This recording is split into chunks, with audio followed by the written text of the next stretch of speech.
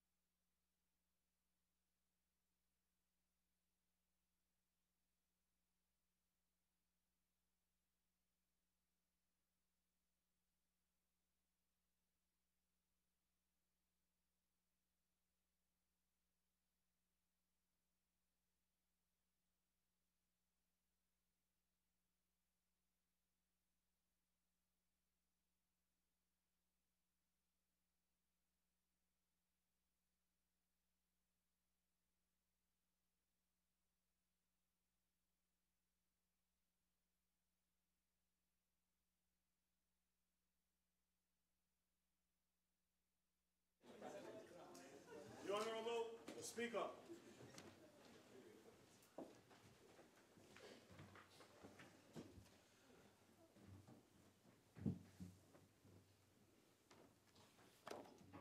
Almighty God, we give thanks to you, the creator of the universe, and humbly beseech you to direct and prosper the deliberations of the members of this house here assembled for the advancement of your glory and the trust and welfare of the people of Trinidad and Tobago. Grant that peace and happiness, truth and justice may be established among us for all generations. Amen. Amen. Namaste.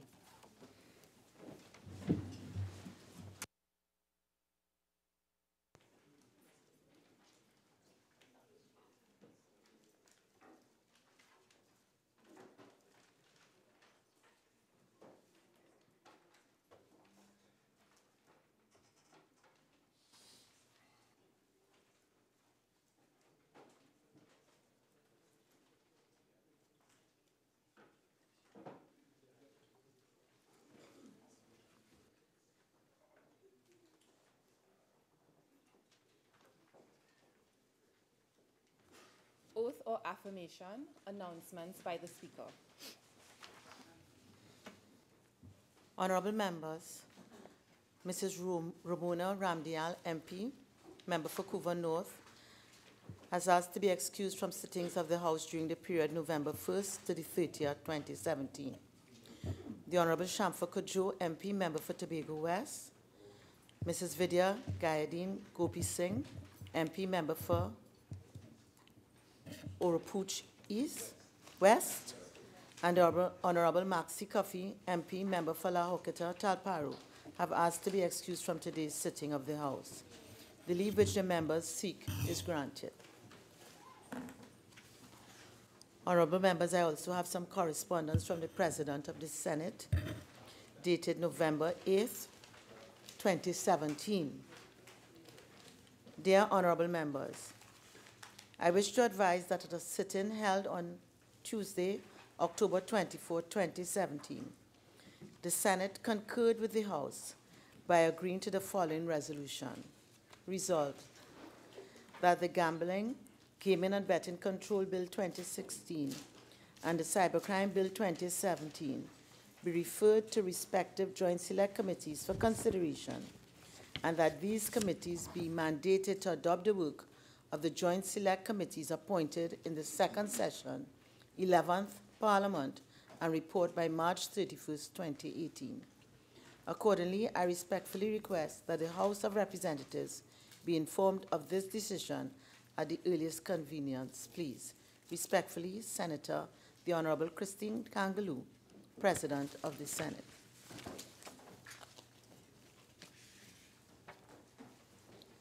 Honorable members, at the first sitting of this third session, held on Friday, September 29, 2017, the member for Siparia and leader of the opposition was granted leave to raise a motion of privilege in accordance with Standing Order 32. I indicated then that I would give my ruling at a later sitting. I have since carefully deliberated upon the motion that was presented by the member for Siparia. The facts are that the Prime Minister and member for Di- Diego Martin West is reported to have, been, have made certain statements to members of the media while being interviewed at a public event held on September 16, 2017. As we all know, members of Parliament regularly engage in public discourse outside of Parliament. Members speak at political rallies, town meetings, media conferences, and television and radio talk shows. And I wish to seize this opportunity to remind all members that our words, whether uttered inside this august chamber or spoken in another forum, as well as our conduct, ought always to maintain respect, dignity, and decorum. Indeed, a wealth of case law has developed over time in relation to words spoken by parliamentarians outside of the parliament and their legal implications and effect. My role as guardian of the privileges of this House is to balance two principles. The principle that Parliament should be protected from improper obstruction of its functions, and the principle of freedom of comment of members of Parliament and citizens to criticize the institution or membership of the Parliament. In determining whether a prima facie case exists in the instant circumstance, and while balancing the aforementioned two important principles, the following learnings assisted with my deliberations. During debate on a breach of privilege in the House of Commons and in relation to freedom of comment, Gladstone stated as follows. Breach of privilege is a very wide net, and it would be very undesirable that notice should be taken in this House of all cases in which honorable members are unfairly criticized. Breach of privilege is not exactly to be defined. It is rather to be held in the air, to be exercised on proper occasions when, in the opinion of the House, a fit case for its exercise occurs. To put this weapon unduly in force is to invite a combat upon unequal terms, wheresoever and by whomsoever carried on. Indeed, it is absolutely necessary that there should be freedom of comment. In 2000, Speaker Hunt of the New Zealand House of Representatives rules as follows, and I quote, For a statement to constitute a contempt by reflecting on members, it would have to allege corruption or impropriety on the part of members in their capacity as members. Hard hitting and contentious comments and statements to which members might well object fall within the boundaries of acceptable political interchange. End. Applying the learnings above, I am of the considered view that while some may find the statement attributed to the Honorable Prime Minister objectionable, it is insufficient to meet the threshold required to find a prima facie case of a breach of privilege. The statement made is too remote to attribute a reflection on the members, presiding officers, or staff of the Parliament. It is vague and lacks the specificity required to qualify as a reflection on a member or on the House. I wish to quote from the practice and procedure of the Rajya Sabha, and I quote Speech or write, speeches or writings containing vague charges against members or criticizing their parliamentary conduct in a strong language, particularly in the heat of a public controversy, without, however, imputing any malafides and not treated by the House as a contempt or breach of privilege, end quote. Upon analysis, the statement does not go beyond the realm of political comment, and it is too wide to be interpreted by a reasonable person to have brought the Parliament into disrepute and odium or impute any malafides. As Speaker of the House, I find it inconsistent with the dignity of the House to take any serious notice or action in the case of every offensive statement which may technically constitute a reflection on the House. I myself have heard comments made by many other members in the public domain, which, if held to a strict interpretation of privilege, could well fall into the category of a reflection. It is for these reasons that I find no prima facie breach of privilege warranting the attention of this House, and I so rule. Bills brought from the Senate, petitions, papers. Minister of Finance. Thank you, Madam Speaker. I have the honor to lay the following papers. The Provisional Collection of Taxes Order 2017, the audited financial statements of Trinidad and Tobago Creative Industries Company for the financial year ended September 30th, 2015, the audited financial statements of Palo Seco Agricultural Enterprises Limited for the financial year ended September 30th, 2016. The annual report and audited financial statements of National Enterprises Limited for the financial year ended March 31st, 2017. The audited financial statements of Caroni 1975 Limited for the financial year ended June 30th, 2017. Papers 6 to 7, the report of the Auditor General of the Republic of Trinidad and Tobago on the financial statements of the Children's Authority of Trinidad and Tobago, Children Authority Fund for the years ended September 30th, 2014 and 2015. Second report of the Auditor General of the Republic of Trinidad and Tobago on the financial statements of the Sugar Industry Labor Welfare Committee for the nine months ended September 30th, 1998. The report of the Auditor General of the Republic of Trinidad and Tobago on the financial statements of the Mayor's Fund of the Chaguanas Borough Corporation for the year ended September 30th, 2013. 10 to 11, the annual audited financial statements of the Trinidad and Tobago Electricity Commission for the years ended December 31st, 2014 and 2015. 12 to 15, the annual administrative reports of Caribbean Airlines Limited for the years ended 2010 to 2013. And 16 to 18, the annual administrative reports of the Trinidad and Tobago Tourism Business Development Limited for the years ended December 31st, 2013 to December 31st, 2015. I beg to move that papers 2 to 5 be referred to the Public Accounts Enterprises Committee and papers 6 to 11 be referred to the Public Accounts Committee. Honorable members, the question is that papers 2 to 5 be referred to the Public Accounts Enterprises Committee and papers 6 to 11 be referred to the Public Accounts Committee. All in favor say aye. Any against? The ayes have it. The Leader of the House. Thank you very kindly, Madam Speaker. Madam Speaker, I have the honor to lay the following papers.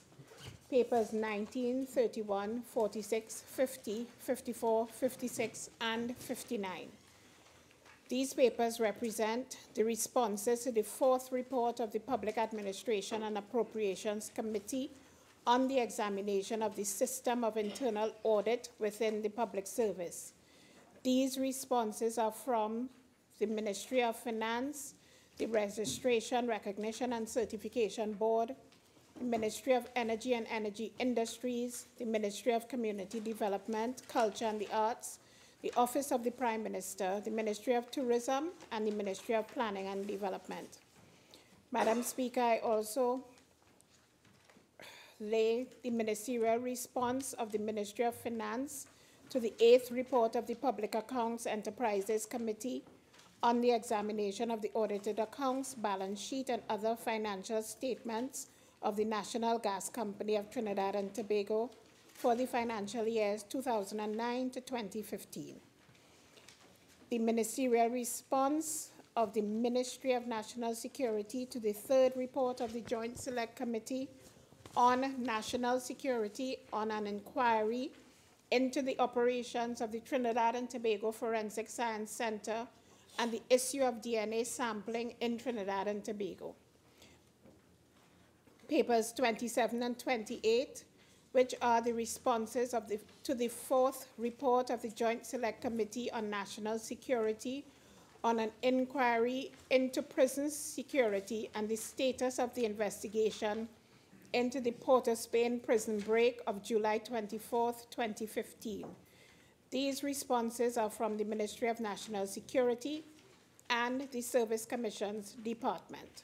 Paper 35, the ministerial response of the Ministry of Public Administration and Communications to the second report of the Public Administration and Appropriations sorry, Committee on an examination of the current expenditure and internal controls of the Office of the President.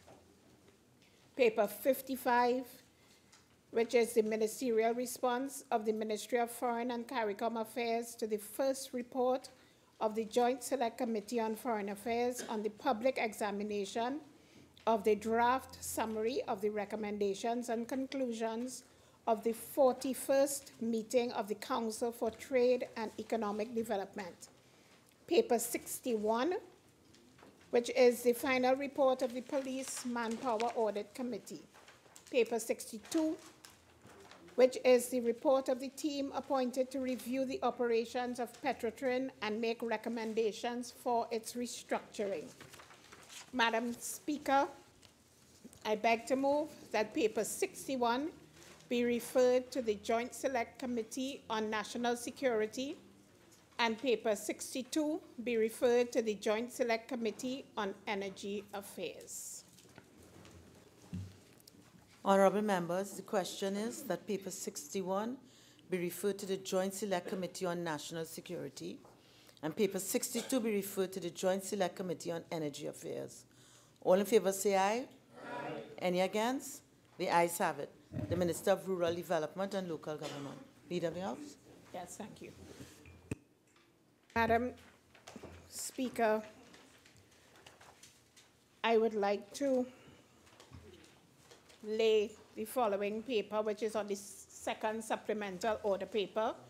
That is paper number 63, the annual report of the operations of the Interception of Communications Act for the period January to December 2012. And Madam Speaker, on behalf of the Minister of Rural Development and Local Government, I have the honor to lay the following papers. Excuse me.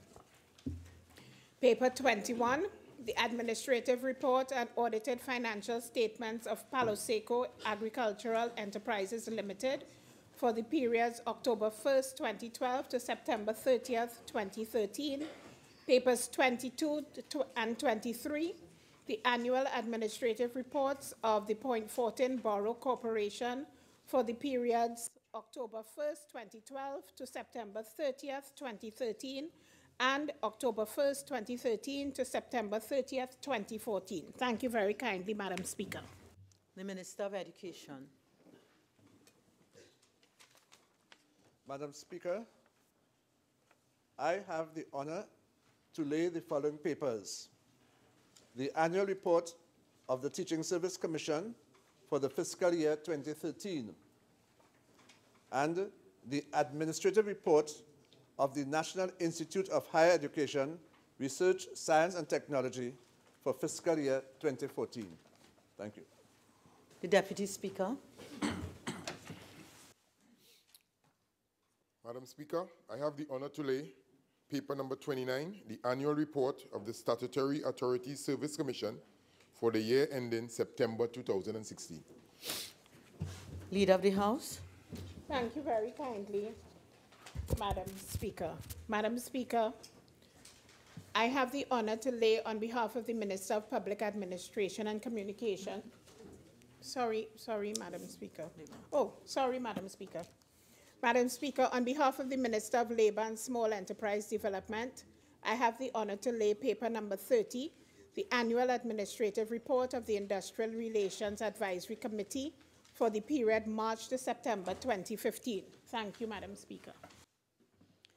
Minister of Public Administration and Communications. Thank you, Madam Speaker. Madam Speaker, on behalf of the Minister of Public Administration and Communications, I have the honor to lay the following papers. Paper number 32, the eighth report of the Judicial and Legal Service Commission on the exercise of the Commission's functions and powers for the years 2008 to 2016. Paper number 33, the 106th report of the Salaries Review Commission of the Republic of Trinidad and Tobago.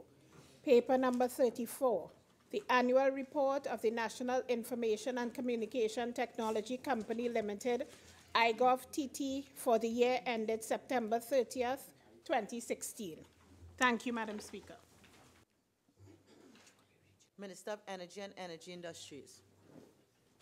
Madam Speaker, on behalf of the Minister of Energy and Energy Industries, I have the honor to lay the following papers. Papers 36 and 37, the annual administrative reports of the Ministry of Energy and Energy Industry, Indus, sorry, the annual administrative reports of the Ministry of Energy and Energy Affairs for the fiscal years 2013 and 2014. Papers 38 to 45, the annual administrative reports of the National Energy Corporation of Trinidad and Tobago Limited for the years ended December 31st, 2008, 2009, 2010, 2011, 2012, 2013, 2014, and 2015. Thank you very kindly, Madam Speaker. The Minister of Social Development and Family Services. Thank you, Madam Speaker. Madam Speaker, I have the honor to lay the following papers. The annual administrative reports of the Ministry of the People and Social Development for the fiscal years 2012-2013 and 2013-2014. Thank you, Madam Speaker. The Minister of Community Development, Culture and the Arts. Thank you, Madam Speaker. Madam Speaker, I have the honor to lay the annual administrative report of the former Ministry of Community Development for fiscal 2010-2011.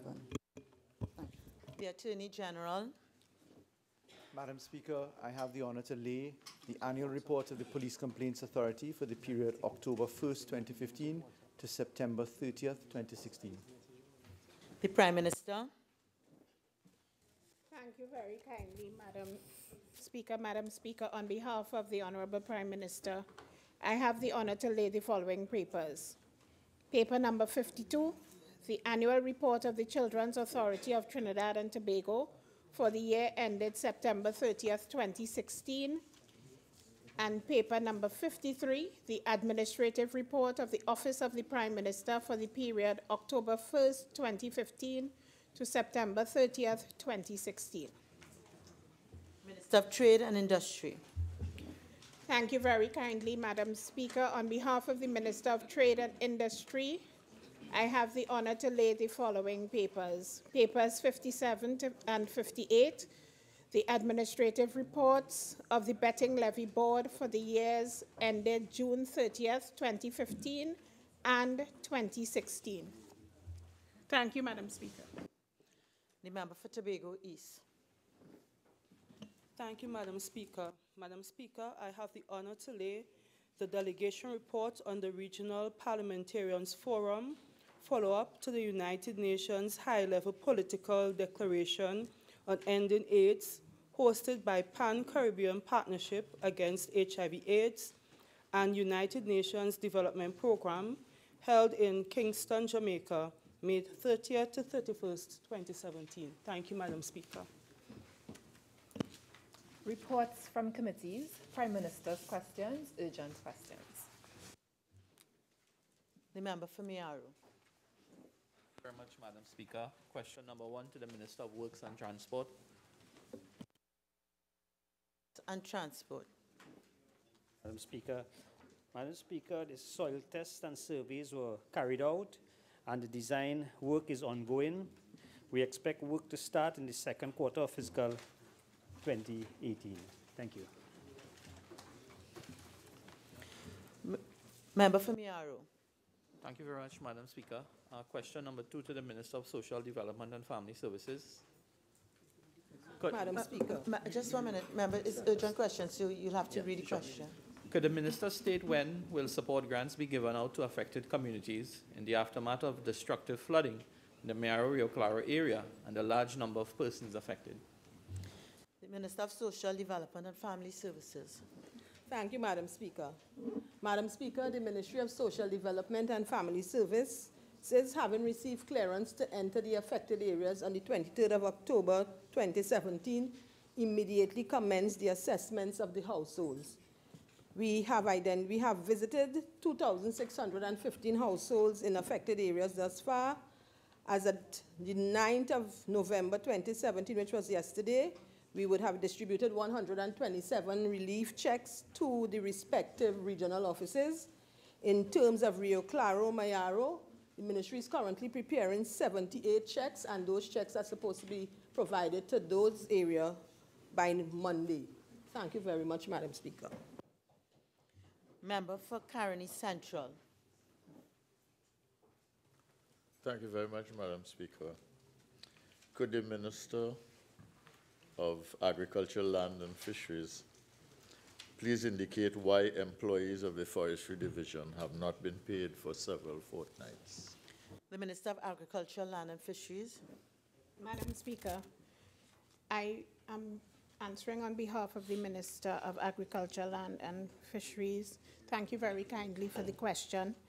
Madam Speaker, at the end of the last financial year, Cabinet approved an allocation of $22 million to the Ministry of Agriculture, Land and Fisheries to settle all outstanding wages to workers in the reforestation program.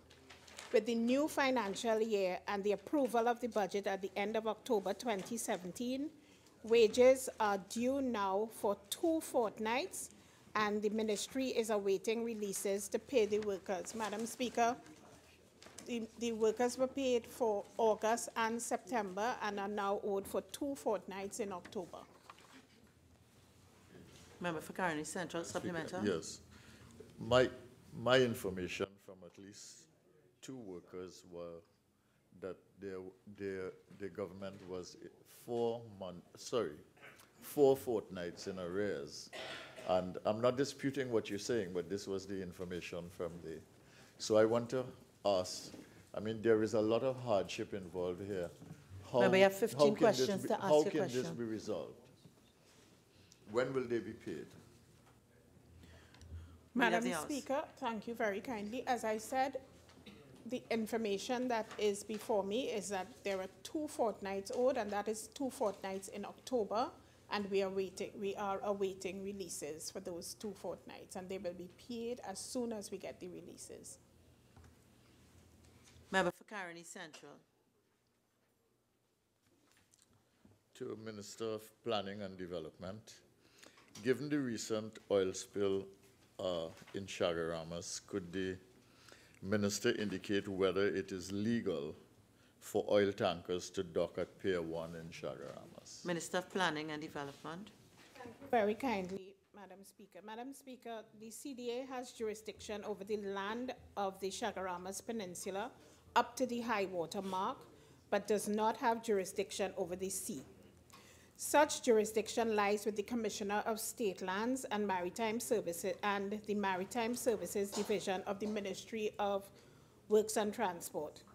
However, the board of the CDA at its meeting held on November 2nd, 2017, agreed that no lease shall be granted to a company who wishes to conduct business of oil storage or oil bunkering or storing of oil-related chemicals.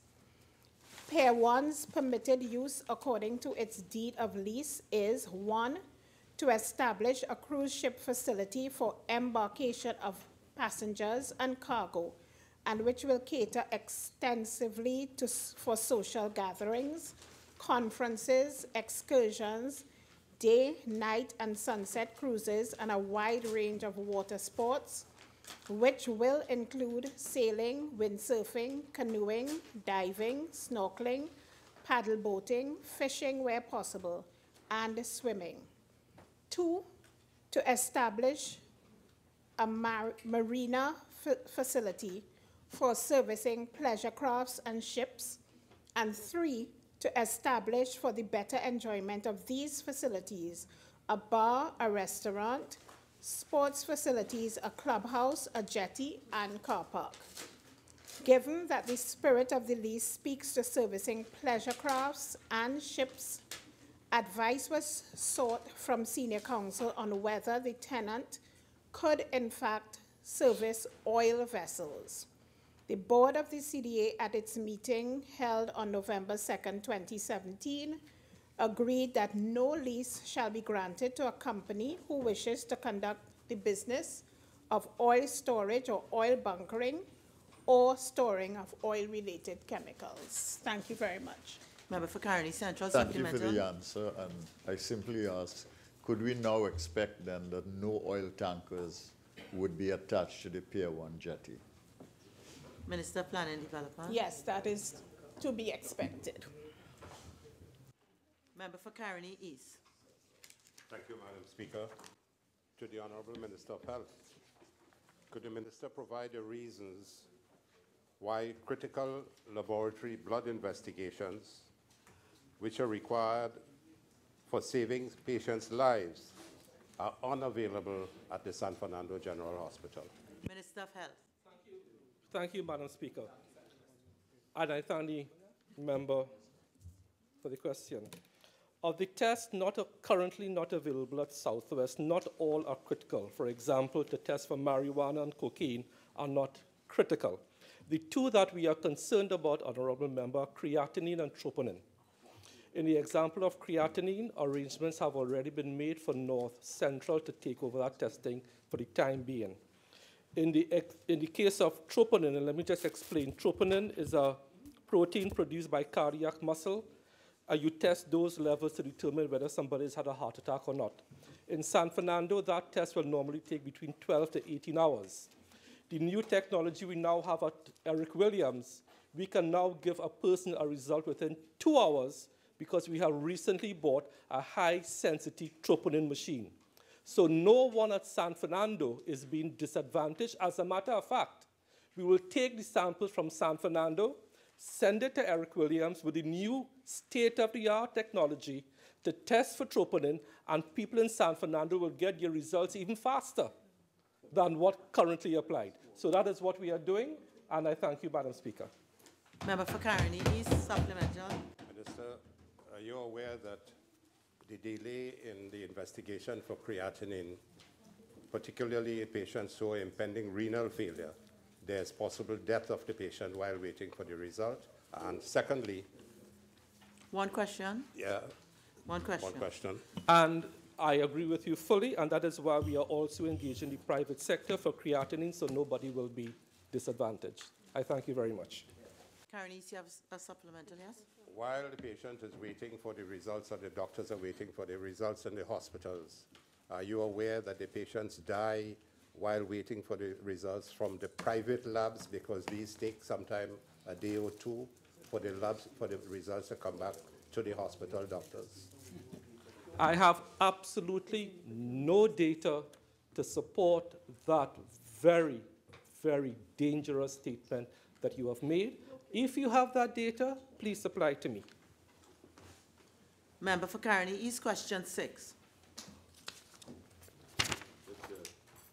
To the Minister of Education, could the minister state why the Ministry of Education has not paid school social workers, about 60, their outstanding monthly salaries to date? Thank you very much, Madam Speaker.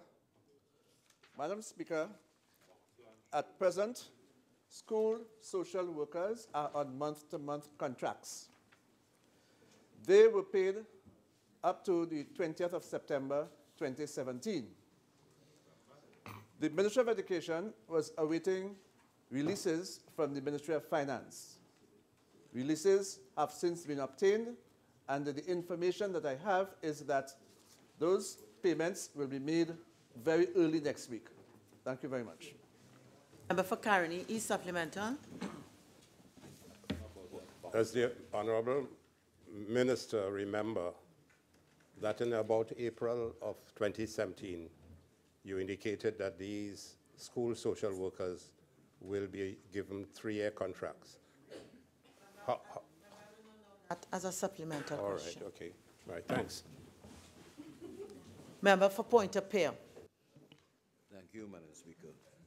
To the Minister of Social Development and Family Services, to the Minister, based on recent reports that 36 residents of Sea Lots have been displaced due to their homes being destroyed by fire, could the Minister state the measures taken to provide relief to these affected residents? Minister of Social Development and Family Services. Thank you, Madam Speaker. Madam Speaker, the Ministry of Social Development and Family Services, through its National Family Services Unit and Social Welfare Division, has been liaising with the Trinidad and Tobago Fire Services in order to identify the persons so affected. Those who have been affected to date, the ministry would have met with those affected persons. We have provided them with food support. We have also provided information on the benefits to which they, benefits that they can access as a result of the disaster they would have faced. And this includes rental assistance. However, Madam Speaker, all of the affected persons we have spoken to thus far have indicated that they have received or accessed alternative accommodation, so they do not require the rental assistance. We have also informed them about the school supplies grant, which would replace all uniforms and books to a maximum of 700 for primary school children and $1,000 for secondary school. We also would have provided information on the fact that house repairs, they can access the house repairs grant, the school supplies grant, and the replacement of household items. Thank you, Madam Speaker. Member for Cumuto Manzanilla, supplemental question. Thank you, Madam Speaker. Honorable Minister, can you advise how many persons have uh, in fact applied for the house grant? Minister of Social Development and Family Services. Thank you, Madam Speaker. Madam Speaker, thus far, none of the individuals have applied for the house grant. Member for Cumuto Manzanilla. Is there any indication at all that any would not be, um, be eligible to apply because of a, a lack of a land deed? Member, I will not allow that as a supplemental question. Member for Princess Princestown. Thank you, Madam Speaker. Madam Speaker, through you to the Honorable Minister of Education. Question number eight. In light of recent demolition of the Princestown Presbyterian School, could the minister indicate when would construction commence? Minister of Education.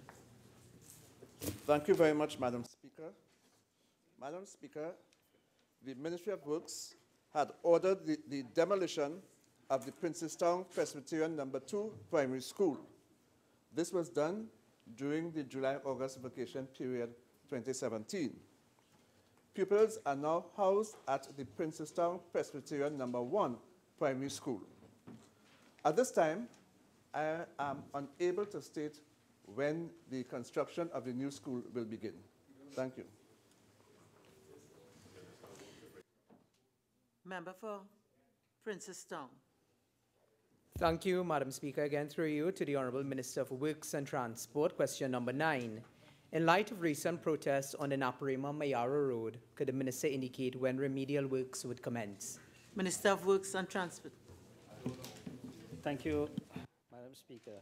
Madam- Madam Speaker, remedial work on, on this road is expected to commence at the beginning of January 2018 through the PURE program. This will include roadworks and drainage. In the meantime, patching work is ongoing. Thank you. For Princestown. Thank you, Madam Speaker. Honorable Minister, can you indicate whether or not there has been any soil testing with respect to this particular area? Because this has been an ongoing problem that requires really a long-term solution, and therefore we have seen in the past 15 where this continues. Member for Princestown. So if there's any additional soil testing that is being done with respect to Minister long-term. Works and Transport. Thank you, Madam Speaker. Before the PURE unit engage in any work, once it's required, boreholes are done to ensure that the, the soil is, is stable and at least recommend to the, the contractor what is required. Thank you. As the time for urgent question is now spent.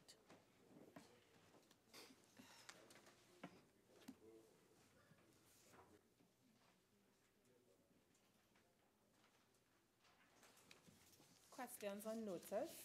Requests for leave to move the adjournment of the House on definite matters of urgent public importance. Member for Caroni East. Madam Speaker, in accordance with Standing Order 17 of the House of Representatives, I hereby seek leave to move the adjournment of the House at its sitting today, 10th November 2017, for the purpose of discussing a det- definitive matter of urgent public importance, namely the failure of the government to manage a crisis with respect to the school feeding program. The matter is definite because it directly and adversely impacts on the nutrition of thousands of students in need of school meals, as the facilities of many caterers, which are now existing with possible closure as a result of long outstanding payments for May, June, September, and October 2017 to school feeding caterers. The matter is urgent because it currently affects the nutrition, health, and welfare of thousands of school children who need the meals at school on a daily basis throughout Trinidad and Tobago. The matter is of public importance because the National Schools Dietary Services Limited are in possible breach of the contract with caterers with a non-payment for services rendered to the Ministry of Education, with approximately 1,000 lunches and 50,000 breakfast meals being provided on a daily basis by these caterers to approximately 800 schools.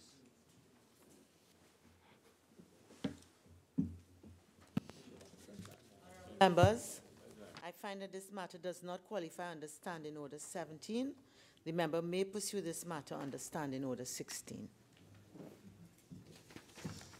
Statements by ministers, personal explanations, introduction of bills. On the third supplemental order paper, the State Suits Limitation Number Two Bill 2017 in the name of the Attorney General. The registration of titles to land amendment number two bill 2017 in the name of the Attorney General.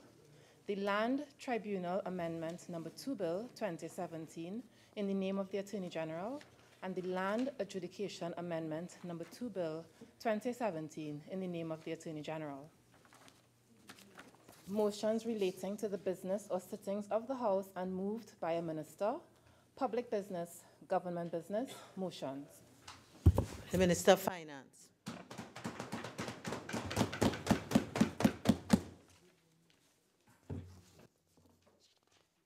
Madam Speaker, I beg to move the following motion standing in my name.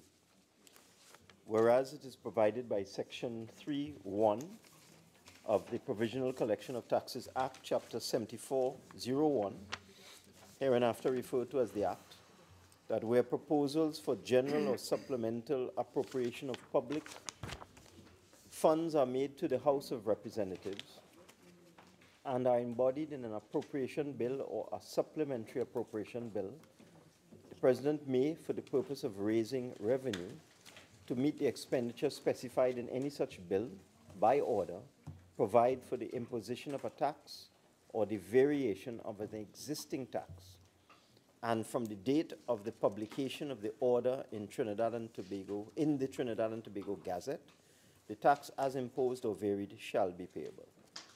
And whereas it is provided by Section 3.5 of the Act that an order varying an existing tax shall cease to have effect if the order is not confirmed with or without modifications by a resolution agreed to by the House within the next 21 days after the commencement of the order. And whereas the Provisional Collection of Taxes Order 2017, heraf- hereinafter referred to as the order, made under Section 3 of the Act, provided for the variation of taxes in the written laws mentioned in the order to the extent and in the manner set out therein, for the purpose of raising revenue to meet the expenditure specified in the bill entitled An Act to Provide for the Service of Trinidad and Tobago for the financial year ending on the 30th day of September 2018. And whereas the order was published in the Trinidad and Tobago Gazette as legal notice number 117 of 2017 on the 23rd day of October 2017 and commenced on the 23rd day of October 2017. And whereas it is expedient to confirm the order, be it resolved that the Provisional Collection of Taxes Order 2017 be confirmed subject to the following modifications in paragraph 5F A by deleting subparagraphs 3 and 10 and B by renumbering subparagraphs 4, 5, 6, 7, 8, 9, and 11 as subparagraphs 3, 4, 5, 6, 7, 8, and 9, respectively. Madam Speaker, this is a copy of the legal supplement that was published in the Gazette on the 23rd of October 2017. And I think it is necessary to explain how this process works. In the Provisional Collection of Taxes Act, there is a requirement or provision for the publication of an order that would vary existing taxes or impose new taxes.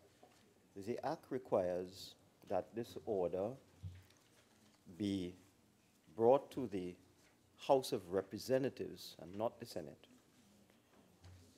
after a period of four days has expired and before a period of 21 days expires. So that this order was published on the 23rd of October. And the 21 day period, therefore, would expire, if my maths is correct, on the 11th or 12th of November. 18th? We're on the 18th day today. Thank you, Attorney General. So we're well within the time frame. This is a bit of an anachronism and a, a bit of a cake legislation because this uh, law was enacted many years ago when we did not have the current um, process of examination of the estimates in the Standing Finance Committee, or at least we did not have the current period of time that we spend in the budget debate and then the examination of the estimates. So it has created quite a, a bit of a difficulty for us in the Ministry of Finance because you are allowed to publish the order while the bill is still before the House of Representatives. So I was entitled to publish the order up to the Thursday, the last day of the Standing Finance Committee. But after that, uh, when the bill went to the Senate, the time expired for the publication of the order. And this is why we published it on the 23rd of October. Uh, this is something that will have to be changed because what, what it causes, because of the, the new and different time frames now, is that you, you, you find yourself very pressed for time in terms of when this order is to be published and when you have to come to the House of Representatives to confirm it. So in the future, I'm just giving notice, we may bring proposals to stretch it out maybe to 30 days or 40 days or something like that to give us the breathing space because after the budget exercise, we're all quite exhausted, uh, having been here for so many days, you know, from morning to evening. So that is something we're going to change. Vice is offended. Minister of Finance. Thank you, Madam Speaker. I'm glad it wasn't mine. It happens to the best of us. so, as I was saying, this is something we're going to change. We're going to make proposals to change the time periods for the confirmation of the provisional collection of taxes order, but in due course, not right now. So that now we're within the existing time frames. And in this order, arising from the fiscal measures announced in the budget 2018, you will see from the order that the order makes adjustments to the taxes payable on gambling tables and other devices. It makes adjustments to the taxes and duties applicable to motor vehicles and motorcycles, and it makes adjustments to the taxes on cars for motor vehicles and also on taxes imposed on amusement gaming machines.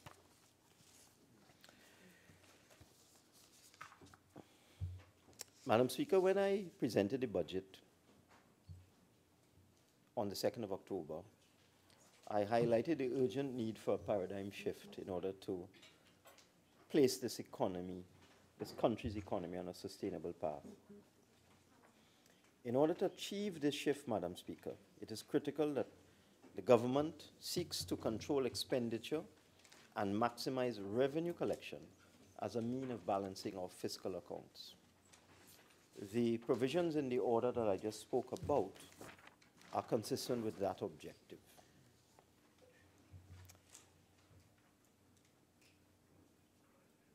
Section 3.5 of the Provisional Collection of Taxes Act provides that where an order varies a tax, as we see in the resolution before the House, that, well, we don't see it in the resolution, but this is in the Act, that that tax shall cease to have effect if the Provisional Collection of Taxes order is not confirmed with or without modification by a resolution agreed to by the House within the next 21 days.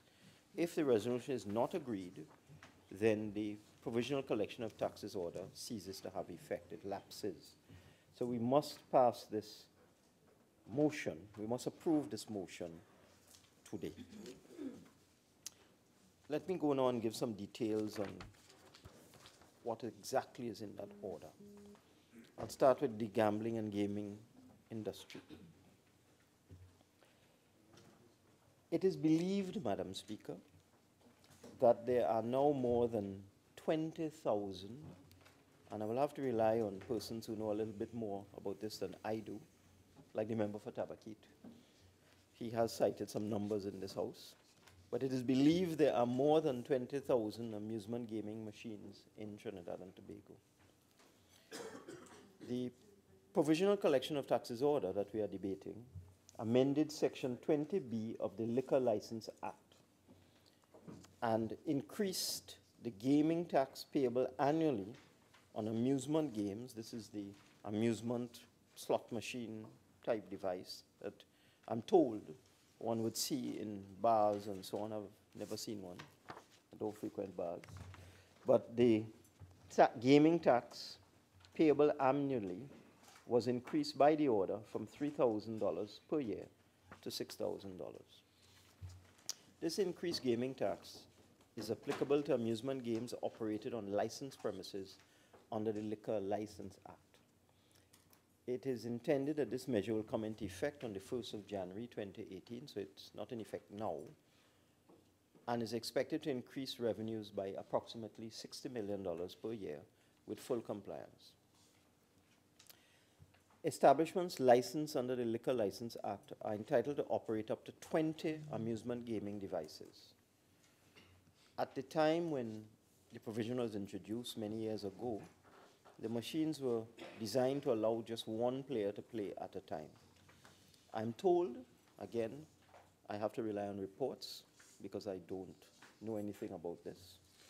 I've never used one of these machines. Sure. Definitely sure. but I'm told that this is not even privately. I'm told that this is no longer the case. Within recent times, establishments licensed under the Liquor License Act have begun to operate electronic roulette devices which permit, and I heard the member for Tabaquite say, mm -hmm, As I said, he is a repository of information with respect to gambling, which permit as many as 12 pay- players to wager as frequently as every 20 seconds. This is interesting. So we now have roulette devices in bars and recreation clubs and restaurants, I assume.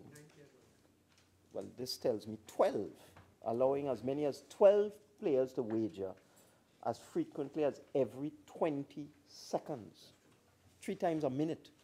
Now, Madam Speaker, after I was visited by some persons at my private residence, a lot of people contacted me.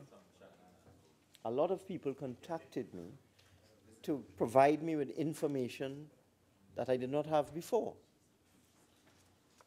And I was told that one of these roulette machines, because of the fact that it's spinning every 20 seconds, three times a minute, I understand it's, the ball spins around a rotating um, device and, and it falls on a number.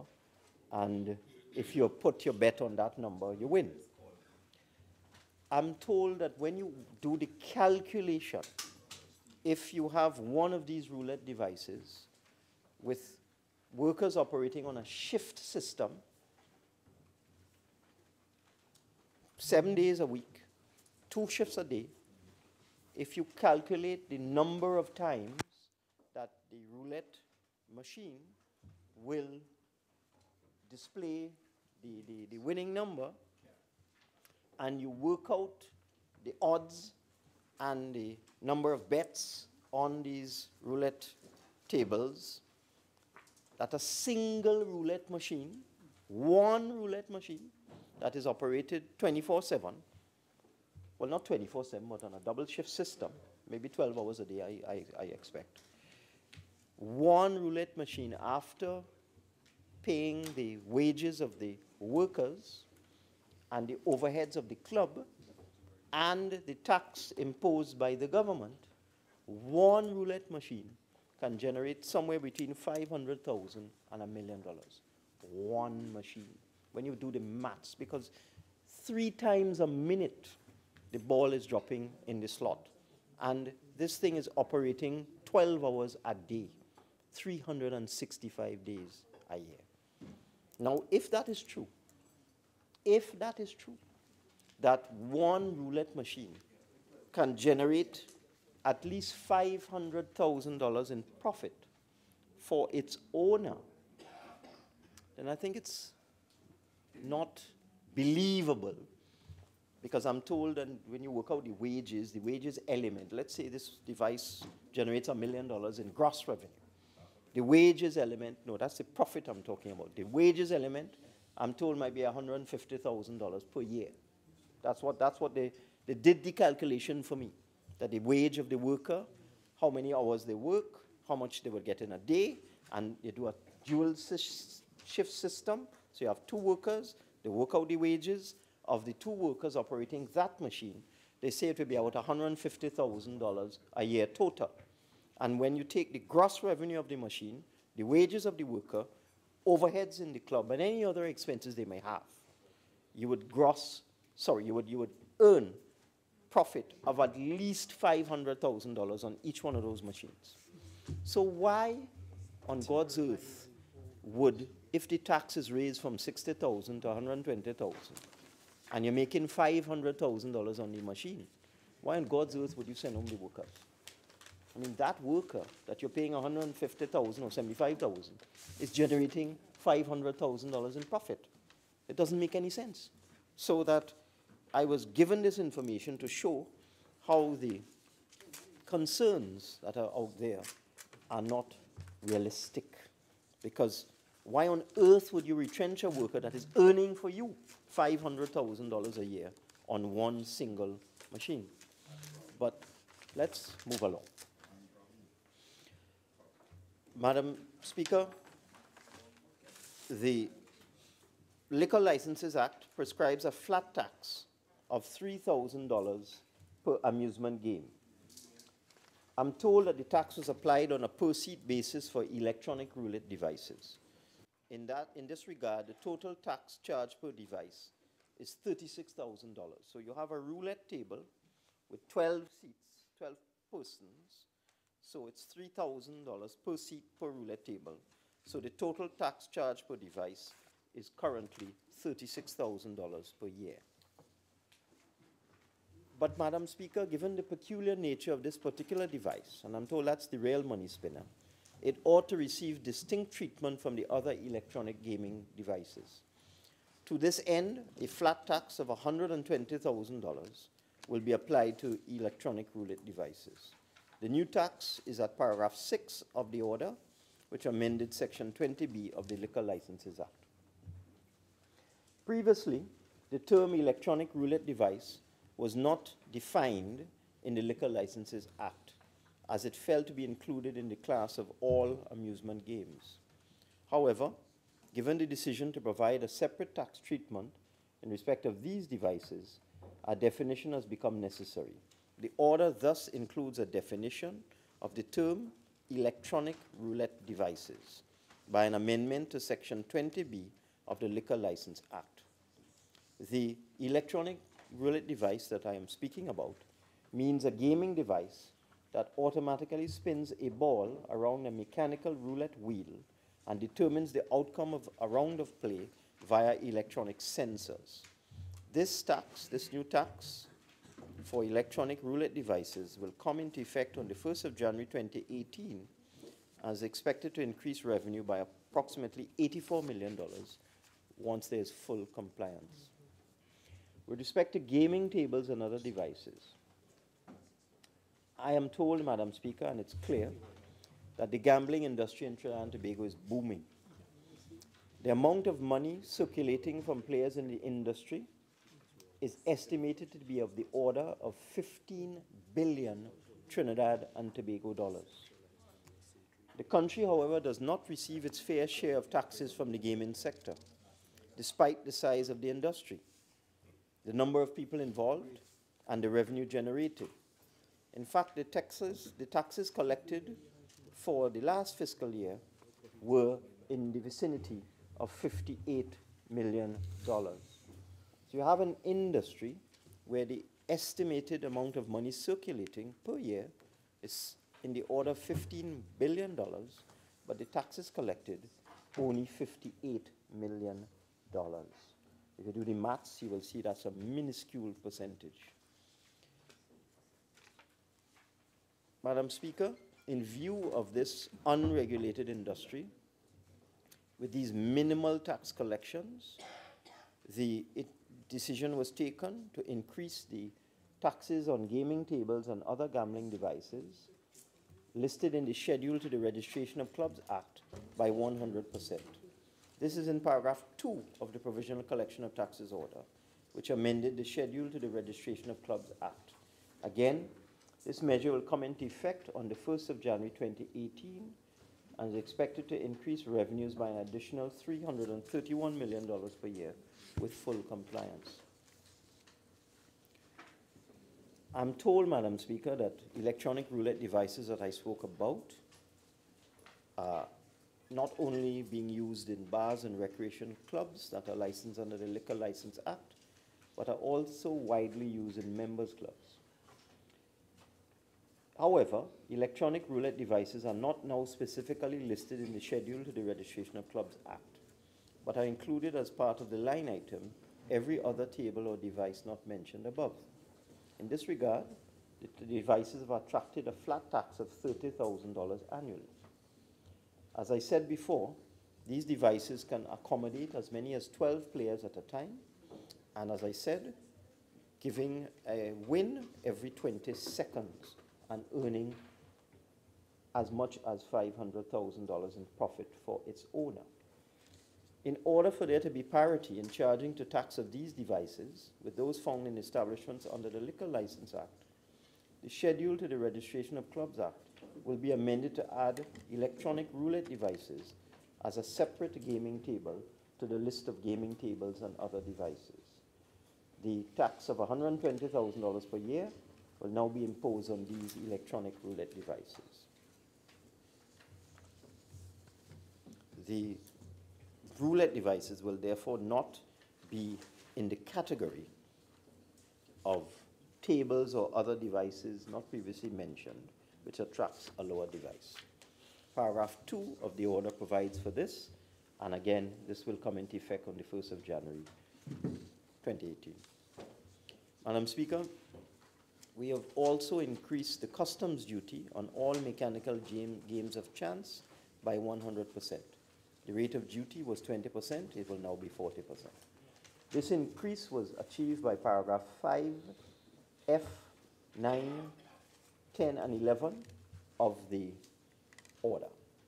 You will also note, Madam Speaker, that the resolution before you intends to confirm the order subject to paragraph 5FX being deleted. This is because there is confusion over exactly what is a video console as it relates to a gambling machine or a video console such as a PlayStation, a PS4, or one of these um, toys that children use to play, and men too, and women, used to play video games.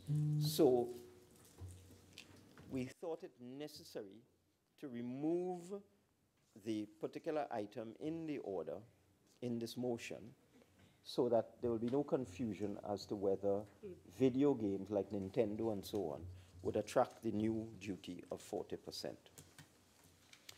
This increase in customs duty on mechanical games of chance is expected to increase revenues by an additional $5 million. Now, Madam Speaker, there's been a lot of discussion and a lot of things published. Uh, I do, from time to time, read the newspapers. And I did see an advertisement from uh, entity calling itself the Members Club Association. And I saw in their newspaper advertisement that in response to an allegation that the owners of these clubs are in hiding, the advertisement says, by law, private members clubs are owned by club members. Well, I will deal with that in a short while, because that is a fiction. That is an absolute fiction. But in order to give some understanding of what is going on in Trinidad and Tobago, I have in my possession the current list of all members clubs in Trinidad and Tobago. There are 221 members clubs at this time. And if you went back into the records, you would have seen there's been an explosion in the numbers of members clubs over the last couple years.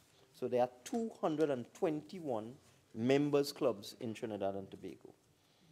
But in terms of bars and recreation clubs, there are, believe it or not, 686 that are on the records at the Board of Inland Revenue. So when you add the two together, you're talking about 900 more or less establishments where you have gambling and gaming devices of one kind or another. But what is interesting, this is the Board of Inland Revenue records, 686 bars and recreation clubs and restaurants and so on that have these things, and 221 private members clubs, which is just a fancy name for a casino. But when you check with the list of private members clubs that are registered with the Financial Intelligence Unit, you only get 97.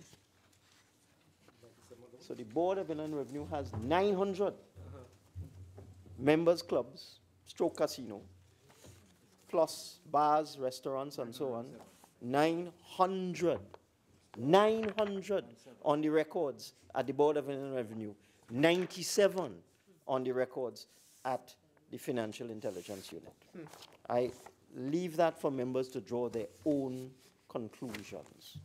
What it means that 800 of these organizations are not being monitored by the Financial Intelligence Unit at this time. 800 of them.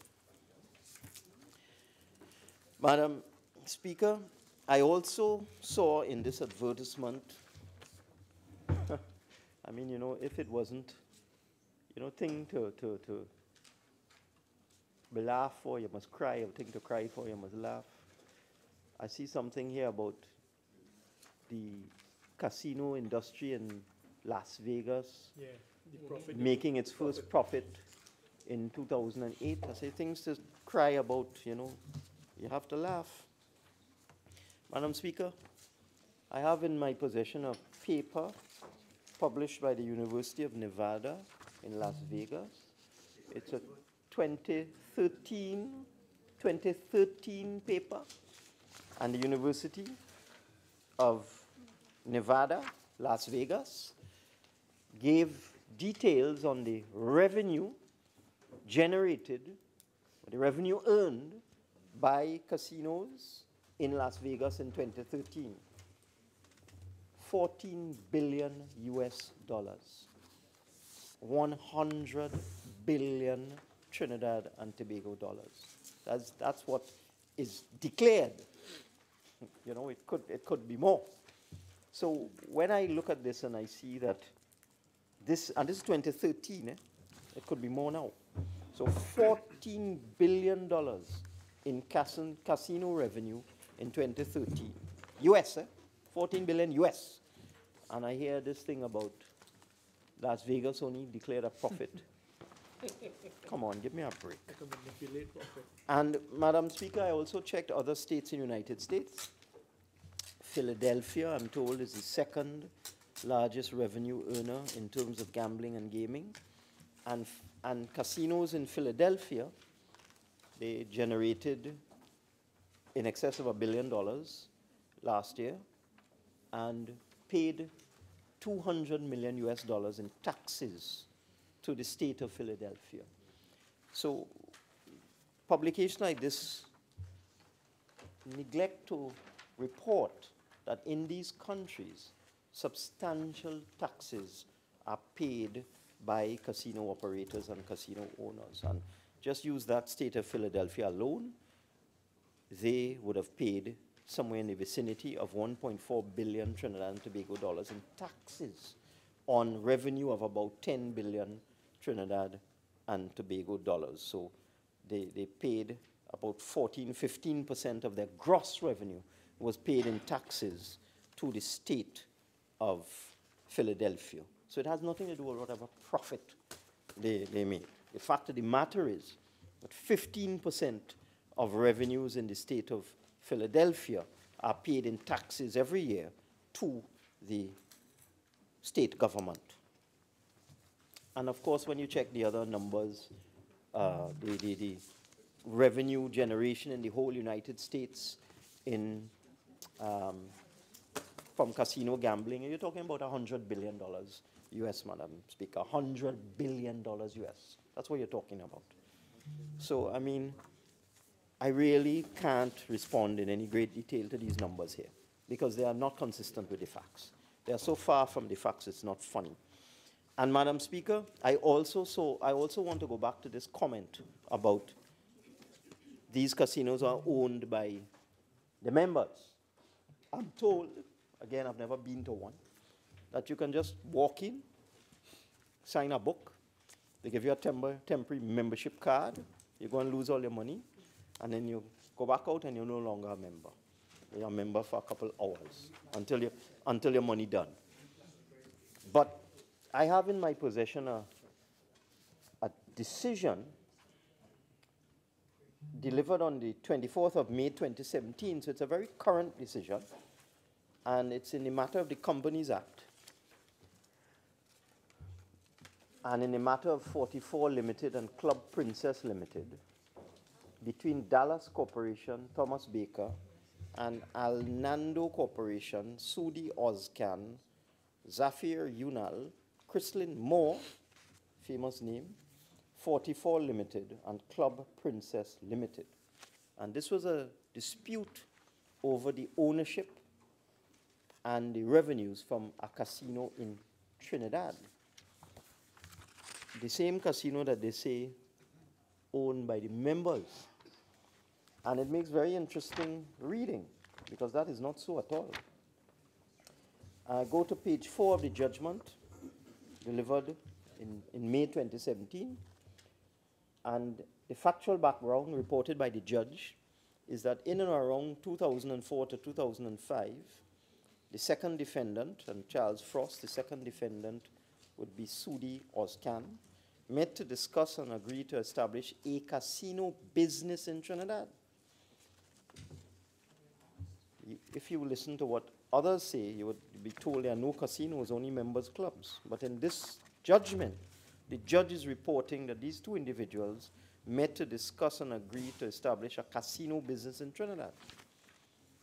The agreement stipulated that the business was to be equally owned between the two of them and the profits equally shared from the business. Now, how can you have profits from a business with two shareholders who are sharing all the profits when, according to this, the members' clubs are owned by the members?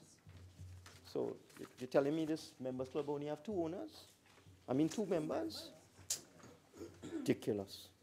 So it went on to speak about the dispute between these two people who had established this casino in Trinidad. And the dispute was over the issuing of shares and the payment of dividends and profits to someone who had inherited the estate of the person who owned 50% of this business. At the end of the day, the judge ruled in favor of the claimants and ruled that Alnando Corporation, Sudi Ozcan, Chrislin Moore, etc., were required to issue 50% of the shares in this business, this casino business, to Mr. Baker from the United States. And this is the Club Princess Casino. I can't answer that question, Madam Speaker, through you. But, but what I do know is that this casino business, which was owned by two people, was the subject of a dispute over how they would share the profits from this casino business, which is Club Princess in Trinidad and Tobago. So I can't see how you could have a court action with the cause of action being that the other owner of the business was depriving the first owner of dividends and profits from this business that two of them owned. That going on in Trinidad and Tobago, and a judgment delivered in 2017. And I read in this ad that telling me, oh, But it will be with respect to display, please. Display. Display. I'm not supposed to display any? Oh, I'm terribly, s- I am terribly sorry, Madam Speaker. Was not aware.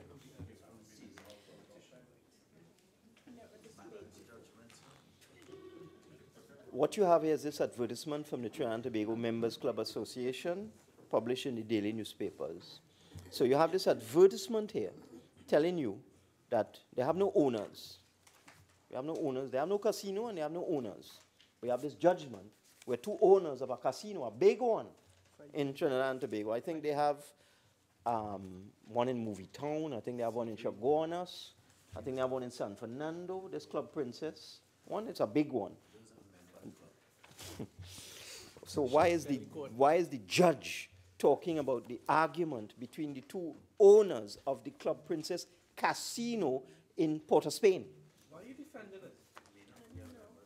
Why are you defending it?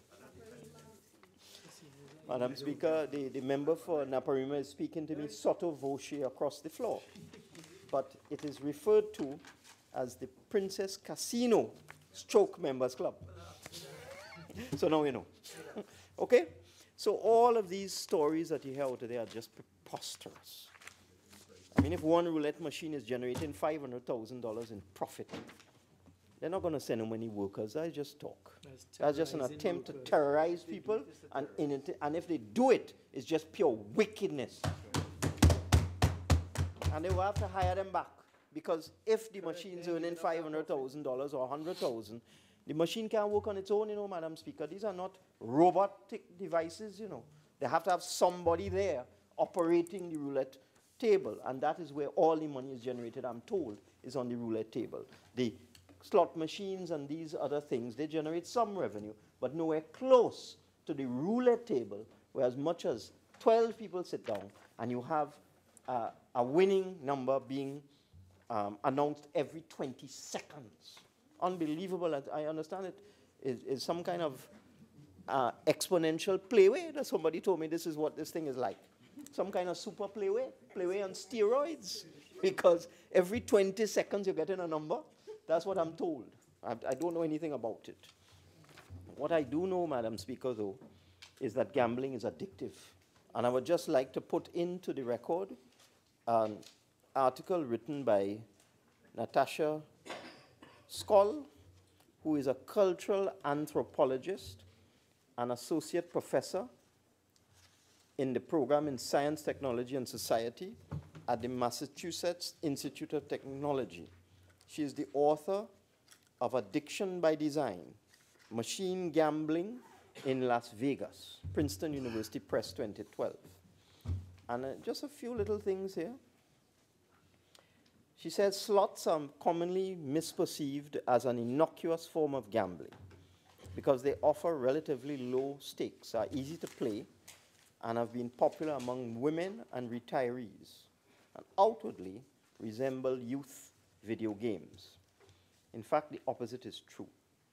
Studies by a Brown University psychiatrist, Robert Breen, have found that individuals who regularly play modern video slots become addicted three to four times faster in one year versus three and a half years than those who participate in traditional forms of gambling like cards or sports betting. Breen calls these machines the most violent strain of gambling in the history of man. As I learned from interviews with hundreds of gambling addicts and game designers over nearly two decades of fieldwork on the US gambling industry, the particular addictiveness of modern slot machines has to do with the solitary, rapid, continuous wagering they enable. It is possible to complete a game every three to four seconds with virtually no delay between one game and the next. To my surprise, the vast majority of those I interviewed harbored no illusions of winning big. Instead of playing for the jackpot, they played for what some call this, the zone, a trance like state of absorption that can suspend the pressures and anxieties of everyday life. Some players become so caught up in the interaction with the gambling machine that their awareness of space, time, and money fades. The consistency of the experience that's described by my patients is that of numbness or escape. Robert Hunter, clinical director of Problem Gambling Center in Las Vegas, told me in an interview. They don't talk about competition or excitement. They talk about climbing into the screen and getting lost. And that's just a little extract, Madam Speaker. So, Madam Speaker, we have, think it's necessary to regulate this industry, but in the interim, uh, while the gambling control bill makes its way through the parliament, we, we believe that the people of Trinidad and Tobago, the taxpayers of Trinidad and Tobago, should get their fair share of this $15 billion industry. Let me move on now to other aspects of the order. Madam Speaker, in 2015, a suite of policy initiatives were put in place regarding the purchase of vehicles.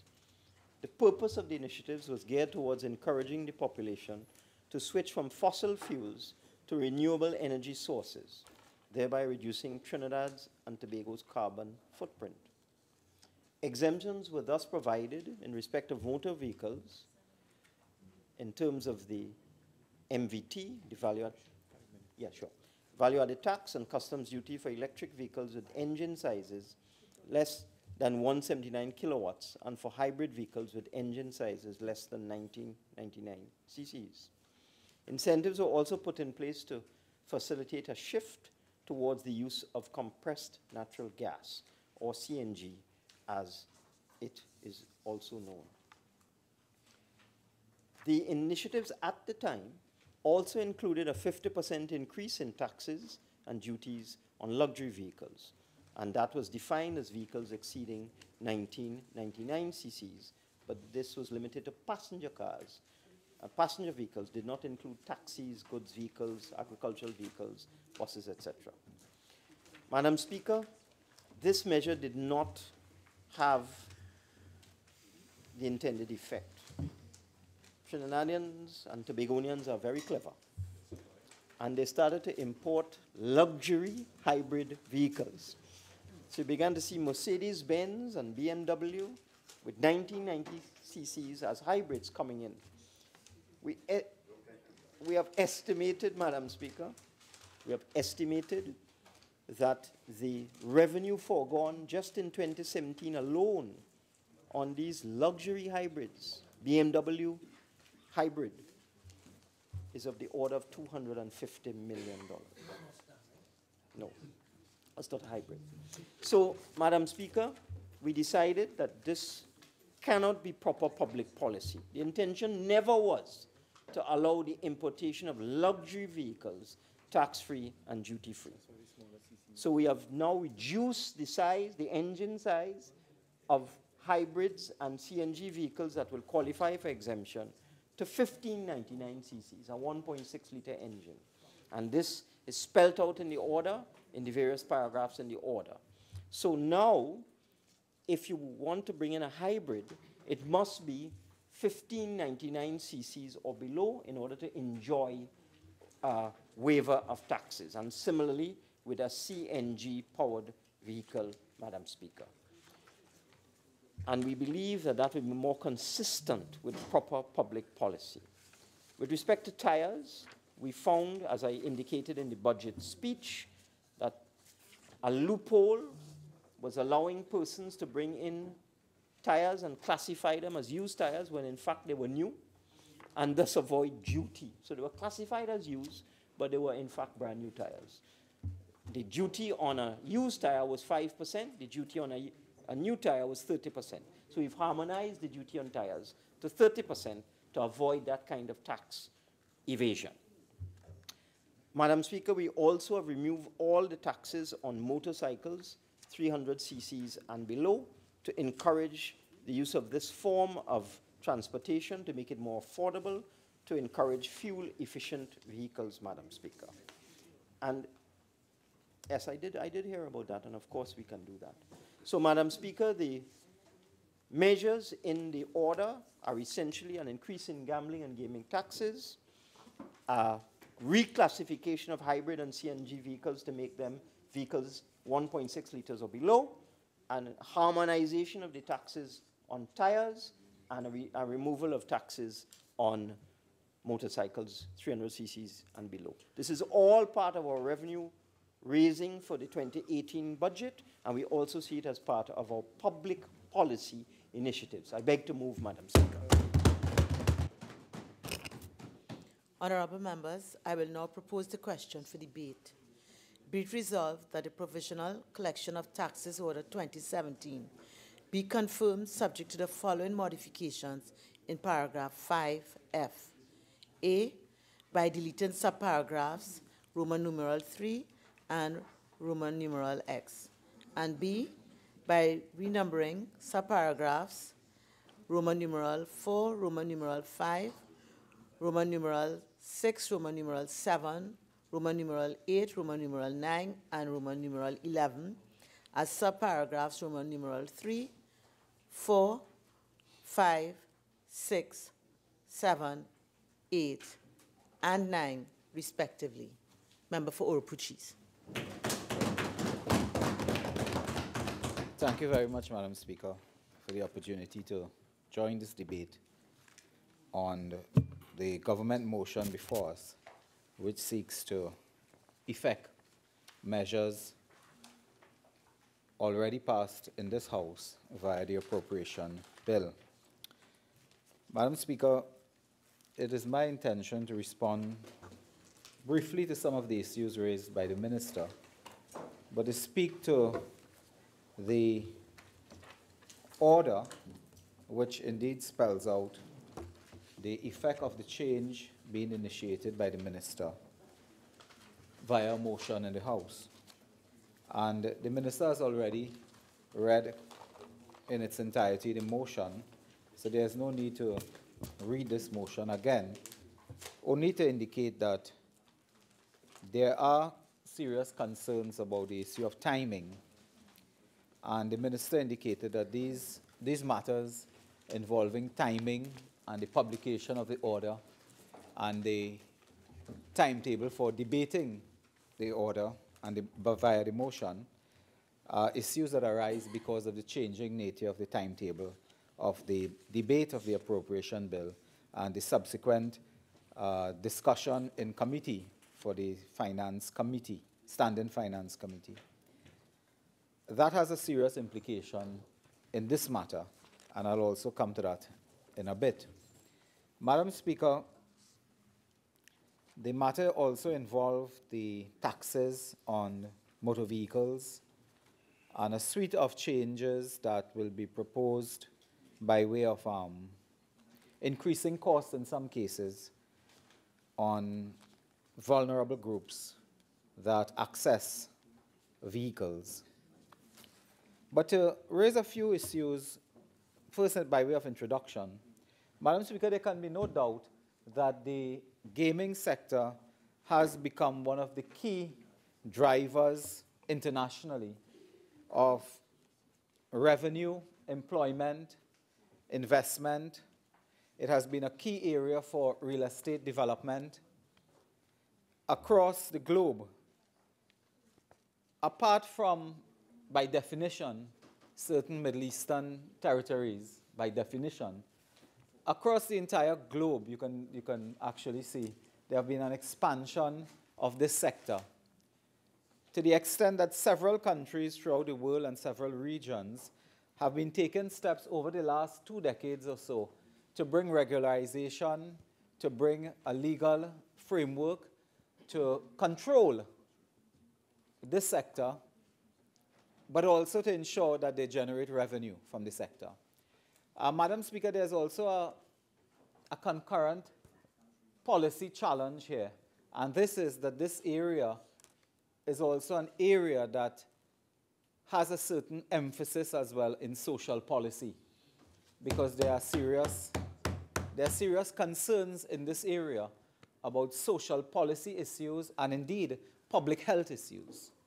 They arise here. This is why the area is a bit more complicated as a new development area than, let's say, the maritime sector or the, the IT sector by itself. This transcends legal issues, it transcends financial and fiscal issues, it transcends social policy and public health policy. So it is a very complicated area. But what do we know of the area? What we know of the area is that we don't know enough of the area. That's what we know. Because, Madam Speaker, we do not have an extensive amount of literature and policy documents on this area. And we have a few reports which I will touch in terms of regularization and taxation and so on. But I took note that the minister stated in his presentation, Madam Speaker, he confessed that, look, I don't frequent bars, I don't use these machines, I don't know nothing about this. Everything I told you today is what I hear from somebody. So that is his disadvantage that he doesn't frequent bars or understand the machines working. I would think that in some development contexts, a minister would probably want to familiarize himself with an area for which he has such a great concern with in revenue generation, as indicated that it generates $15 billion in revenue. Now, unless I'm mistaken, that's probably more than the, the oil industry. That's probably more than the flagship state enterprise in the oil sector. And they generate profits, monster profits, which is clearly more than the energy sector. So I would think that the minister would have told us that I took the, over the last two years the opportunity with a team to meet and interact with the stakeholders. And I did visit this place and I did visit that place and I did have the opportunity to see 12 people playing every 20 seconds. I would have thought he would do that, but the minister told us, I don't know anything about this. I don't frequent bars. I don't. And Madam Speaker, when you read the list of these taxes here that being imposed, this is not the work of a sober man. This cannot be the work of a sober person. But the minister has told us, well, look, I don't know about these things. I, I get my information. And that's the first concern we have. Yes, yes.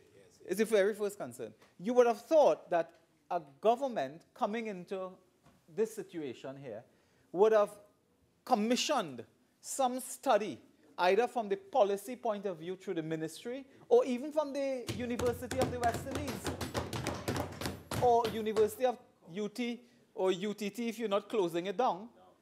Because they commissioned, I think, to rewrite the history of the Caribbean or Trinidad and Tobago.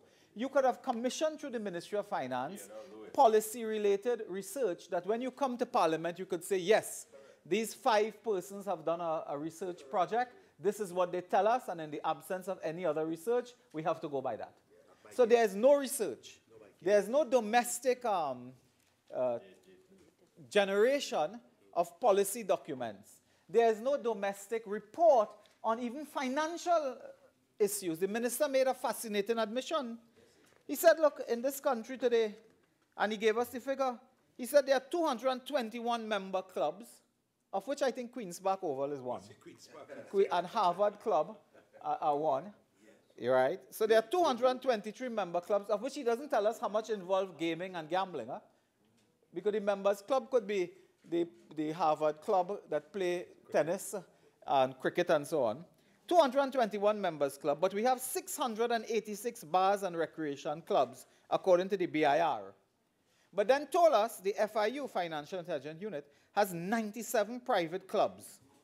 Mr. Minister, you are to blame. They all fall under the Ministry of Finance. You are to blame. This is the Ministry of Finance, FIU, BIR. What have you done in the last two years to suggest to us today that I am working to track down these missing entities? I'm working to get them under the coverage of FIU so that they, so because the implication is very clear. The minister says it has an implication there. They, they are escaping FIU, which means there's something dastardly there. Read money laundering and other criminal activities. But it is your job to ensure that these recreation clubs that involve in gaming find themselves properly under the Financial Intelligence Unit, which is also under your purview. So, Madam Speaker, the government ought to have done this by way of some proper research in Trinidad and Tobago before coming to the House and just shouting out numbers at the top of their head. This is policy by VAPS. You come to the, you come to the table, I'm going to say you come to the table, but you come to the House and you shout out information 15 billion here, 500 on a machine here, two people working on this machine, but every 20 seconds they take a chance. But who told you that? The Prime Minister once told us he was on a boat and somebody tell him something about the port and he made public policy. You need to be informed by proper documentation and proper research and empirical data. Madam Speaker, I'll be drawing from a, a report in my hand, which I will just say because I intend to depend on it. The Global Regulation, Regulation of Gambling, a General Overview by Janne Nikkinen from the University of Helsinki, and it is a 2014 document. This is a global report um, that I will want to draw from. So we have a report. We also have a report from Ireland as well, Madam Speaker, which I'll also use. Economic assessment of a regulated casino gaming sector. There are reports available, and I imagine when I looked at the global report, Madam Speaker, do you know almost 50, no, well, no, about 25 pages is the bibliography. So you have a, a lot of material here. But in Trinidad and Tobago, we don't have material. And the minister, who admits that he knows nothing about the area, he has never been a participant and so on, comes here and just call figures, call numbers, call people name, call this one, call that one. And it is a wrong way to go about dealing with the sector. Yes. Madam Speaker, the, yeah, Madam Speaker, what the minister didn't acknowledge is that the people in this sector, and I can begin by telling you that there is a particular club on Ariapita Avenue, I think it's called Xanadu, if I'm not mistaken, or something like that. They have put up a notice on their board that they are closing December 1. That is a fact. So the club is closing. It is not a joke. It, it is the fact. We're not guessing. They have been closing. And, Madam Speaker, I am told there are six establishments closing. 650 persons will be without a job come Christmas. That's a fact. There's a notice there. We, we- you know, we can get the notice and, and look at it and so on. But that's a fact. Now, if they are trying to, you know, you're suggesting that people are fooling employees and so on, they put up a sign that they're closing. They're gone. And this is an emotional area now, Madam Speaker. There were persons who came in front of the parliament during the budget debate. I think on Diwali evening, they marched to the Prime Minister's private residence without sweets, I think. They came to him on a public holiday, I thought it was Diwali, that they visited him at his pri- uh, private residence. Unless I'm mistaken, two persons associated with this sector have been banned indefinitely from coming to the um, parliament because of a certain incident. So it is an emotional issue. I had the opportunity, Madam Speaker, to reflect on the contribution of a senator in the other place during the appropriation bill debate. And Madam Speaker, the kind of statements that were made there, an evil tax. And we had testimony from several employees in this sector. They have their names quoted. This, you see, and it is related as well. Taxation is one thing you want to tax, and this is called compensatory revenue generation. There are two types of revenue generation continuous, where you have PAYE and so on. Over years and decades, you collect tax from royalty. right? But you also have something called compensatory taxing, which is because of your economic decline, you want to grab everything you see. Any sector that appears to be making money, you grab it. It is, a, it is an approach compensatory revenue generation where anything you see, I tax you. So you see anybody gathered together doing something and generating revenue, I tax you. So clearly the gaming sector is one ripe.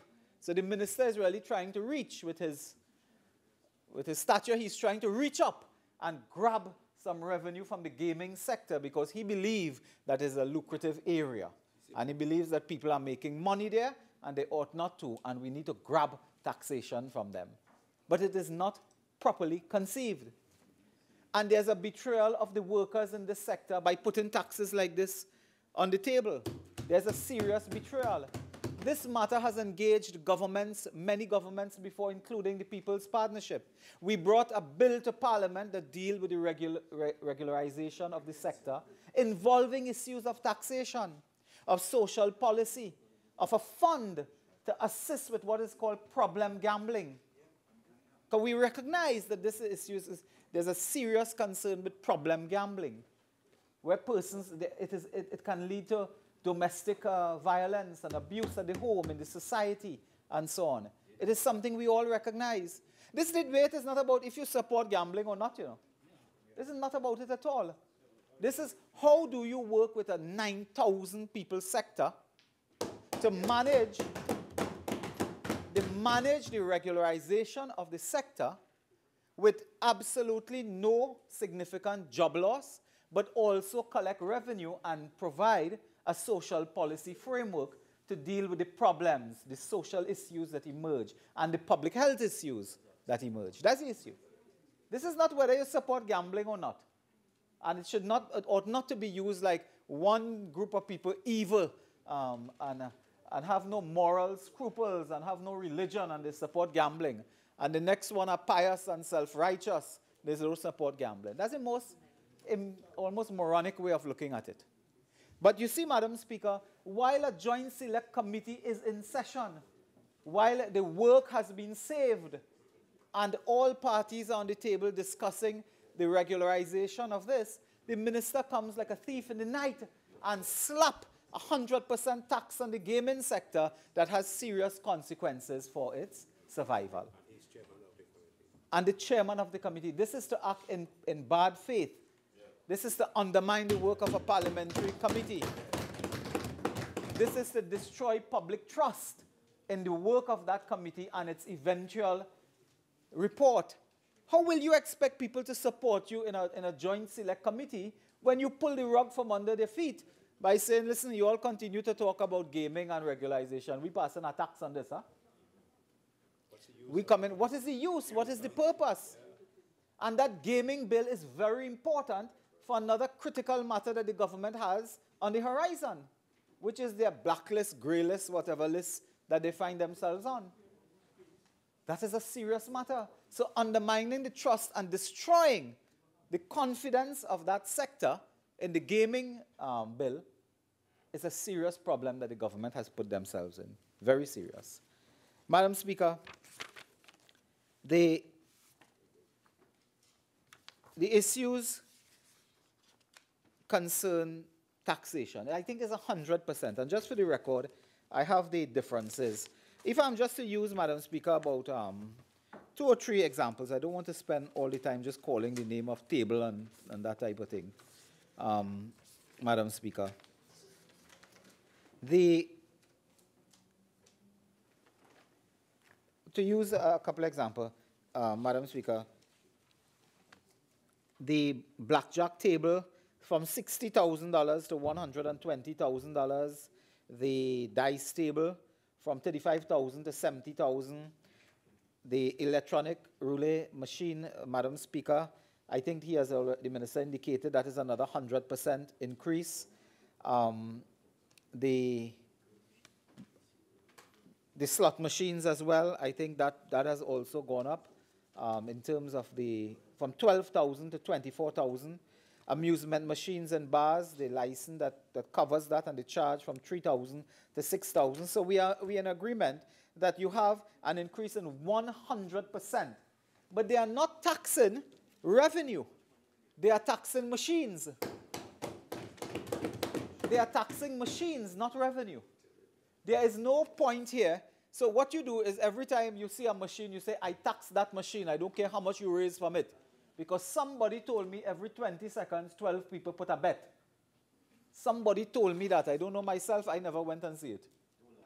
That, no, the minister says he never went and see it. I, I have been there. I see it. You know, I see it. I haven't seen the 20 second, but I was concentrated more on the $2 and $1 business. Madam Speaker, the minister cannot, in a real parliament, in a serious place, say, I tax table because somebody tell me every 20 seconds they take a bet. This is, this is, I mean, I don't know what level of madness is this.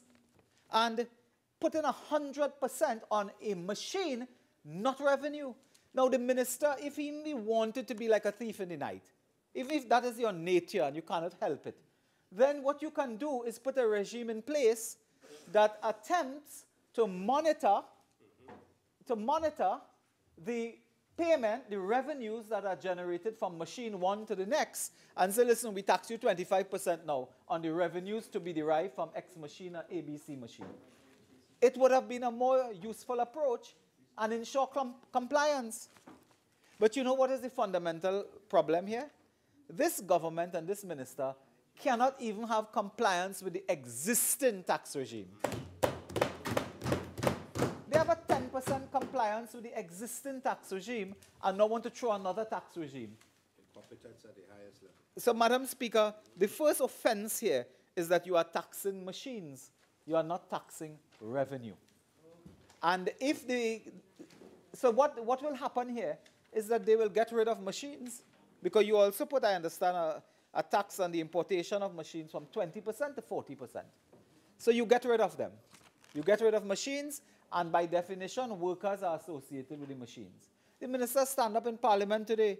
He told us, he said, no, one of these machines, they have two people working there. Somebody told him because he has never seen the place. He never went there. Somebody tell him to. Madam Speaker, when you go into some of these places, you have two people working on shifts, So another two come, another two come, and then you have supporting staff.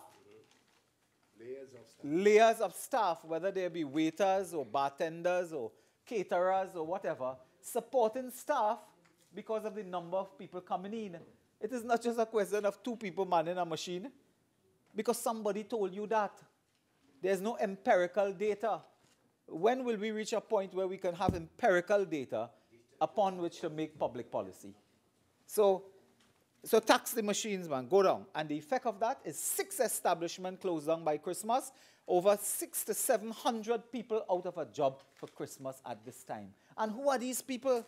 They are your own constituents. They're your own constituents. In some cases, they're your own voters that you trample and stampede upon who will be without work. Let me tell you something, this is not Caroni 1975 limited, you're closing down, you know. It's not that at all. And, and this is why today, Madam Speaker, regrettably, workers went to the home of the minister. They had to call police. I understand that the ministers in the Ministry of Finance and others need to have police patrol by their home. It have a minister, we don't know if they're living in the east or the west, but they have police by the house. So when you expect police to be patrolling areas and high crime area, they have to protect ministers at their home. Because you, you cannot consult or engage or have a participative environment to make change with people. You see, Madam Speaker, the, the minister also made a few other comments relative to this. And at the heart of this is another issue which I want to come to. This is a country now, and this debate and this measure has a policy, um, a policy direction linked here. The measure has a policy direction. It is an attempt to tax people because you believe that they make plenty of money and they're rich. At a meeting in San Fernando some time ago, no less a person than the prime minister called the name of an owner, a, a key player in this industry, and said this person had um, offered to help bail out Donald Trump. And the person rich, and look at the people, they don't want to pay tax. So the member for Diego Martin West walk around with 43 bodyguard and then, put, then expose another citizen of this country to criminal activity. That is what happened here. But it is an attempt to portray people as filthy and disgustingly and illegally rich. So we must go for them. Madam Speaker, you cannot have employees unless you have employers. You cannot have workers unless you have managers. You cannot have eh, anybody, you cannot create employment. Now, the minister looks at this sector, and we talk so much about diversification. As one speaker said on a Monday night forum, we're talking about diversification since Adam was a little boy. This is an area that the minister should have looked at to see how can we work with this sector to create more jobs, to generate more revenue, to create more business. And in this, in this global report I'm quoting from, do you know, Madam Speaker, in some states in the United States, they're creating now casino operations on boats in the river, in the Mississippi or somewhere, because they believe that that is another area to develop. Gaming industry on the river, on the seas and you link, you link that to employment generation. Do you know how much caterers operate? How much people are employed? How much police and private security are employed? How much, how much car park attendants? You know, how much car park attendants are recruited for this sector? But what you do, you say, they're getting plenty money, we tax them. Tax them. And you close down, it's tax, tax, tax, and you close them down and the very people you're trying to govern for are unemployed. That is the effect of this. They talk about 9,000 people in this sector. They have a direct, indirect support staff in this sector of about 30,000 employees. About 30,000. You affect all of them because you uh, you want to tax, tax, tax. And that, I think, is, is almost criminal. What in your measure today, if I may ask the minister, you gave us your motion, your or, motion and then your order. Name one item in this order, one item in your motion that will lead to job creation in this sector. Name one. Name one that will lead to generating more revenue. And the private bars, Madam Speaker, I too have complaints about this matter. In my own constituency, all the bars, they have these machines. I went into one of these places in my constituency a couple months ago. I didn't have a place to sit down. You have to stand up because there are only machines around. So I called the proprietor and I asked him, I said, tell me, what is happening here? You throw away all the table and chair, nobody could sit down here. He said, I want to tell you something. You have these machines, you earn some, some revenue, you share at the end of the month, and you have a stable revenue base at the end of the month. So it supplements, it supplements their sale of beverage or snacks and so on. And they make a living. They hire people to come in the evening and clean up people to pick up bottles and so on. Today, you have increased by 100% their taxes on those machines in those bars and recreation clubs. So they will say, look, that's too much to pay, get rid of them, and you have more depression, more economic decline, particularly in rural areas. The effect of that is more delinquency, more abuse of drugs, more abuse of alcohol, more family related domestic problems. Those are the consequences, intended or not, from your taxation. That is what it will, will lead to. This notion that people out there have so much and we could tax them all, it is wrong. And there's, this sector is now has a modicum of organization because you have committees and unions and so on. All they are saying is to meet and treat with us. Meet and treat with us. You know what is remarkable and we discovered when we were in government? Every player in this sector tells us we want regularization. We want regulation. We demand a legal framework. Because there's also an illicit, illegal subsector, which you are not touching incidentally. They operate, they operate opposite police station now. There's an illegal and illicit subsector. But you are taxing the legal sector, the sector that is already subject to taxation. Yeah. You get them into extinction, and then the illegal ones continue. Or is this more of a dastardly plan so that foreigners can come in now who can afford this? Foreigners can come in here and start occupying the space. Start occupying the space that would be left available when 6 to 20 businesses go out of circulation. Is this part of it? Is it part of Sandals, casino, and gaming sector as well? That you want to get rid of people? Because there's a real estate crisis as well. When these people close down their business, who's going to rent from the malls and the shopping centers and the, and the areas there? Who? So there's an all-round economic decline involved. And Madam, Sec uh, Madam Speaker, the Minister of um, Finance with his technical team and so on could have taken a more holistic view of this. There are different approaches suggested, Madam Speaker, different approaches that deal with taxing and raising revenue from this sector. And the minister, without knowing it, I don't know if he knows what he's saying is correct or not, just to add to him that in, in the state of Nevada, which he raised, and the state of Nevada is home to Las Vegas, so the state of Nevada, the state revenue generated in 2012 was 868 million United States dollars. State revenue. And Madam Speaker, you know what caught my attention in this global overview of the gaming sector? Do you know when countries embark upon this, this type of measure to tax? Not 100% tax to throw people out of business, but re reasonable taxation. And I repeat, the gaming sector, those in that sector, Madam Speaker, are saying clearly, we understand you have to tax. And we are prepared for that. Let us discuss that. And get to the point where government gets its revenue and the business continue, people have their jobs and so on. Do you know in the states in the United States and in other countries so defined, and Florida is, is clearly one, when they tax on gaming, the sector, they actually say in law where that money is to go to. It is to go to education. It is go, to go to social welfare programs. It is to go to cultural and sporting activities. It is to go to this. The minister is telling us how much millions he will raise. Where will that money go to? So we agree with you today on this high-handed authoritarian approach. Where the money going? It will go for what? Upgrade the golf course? It will go for what? For paintings? It will go to, to do what?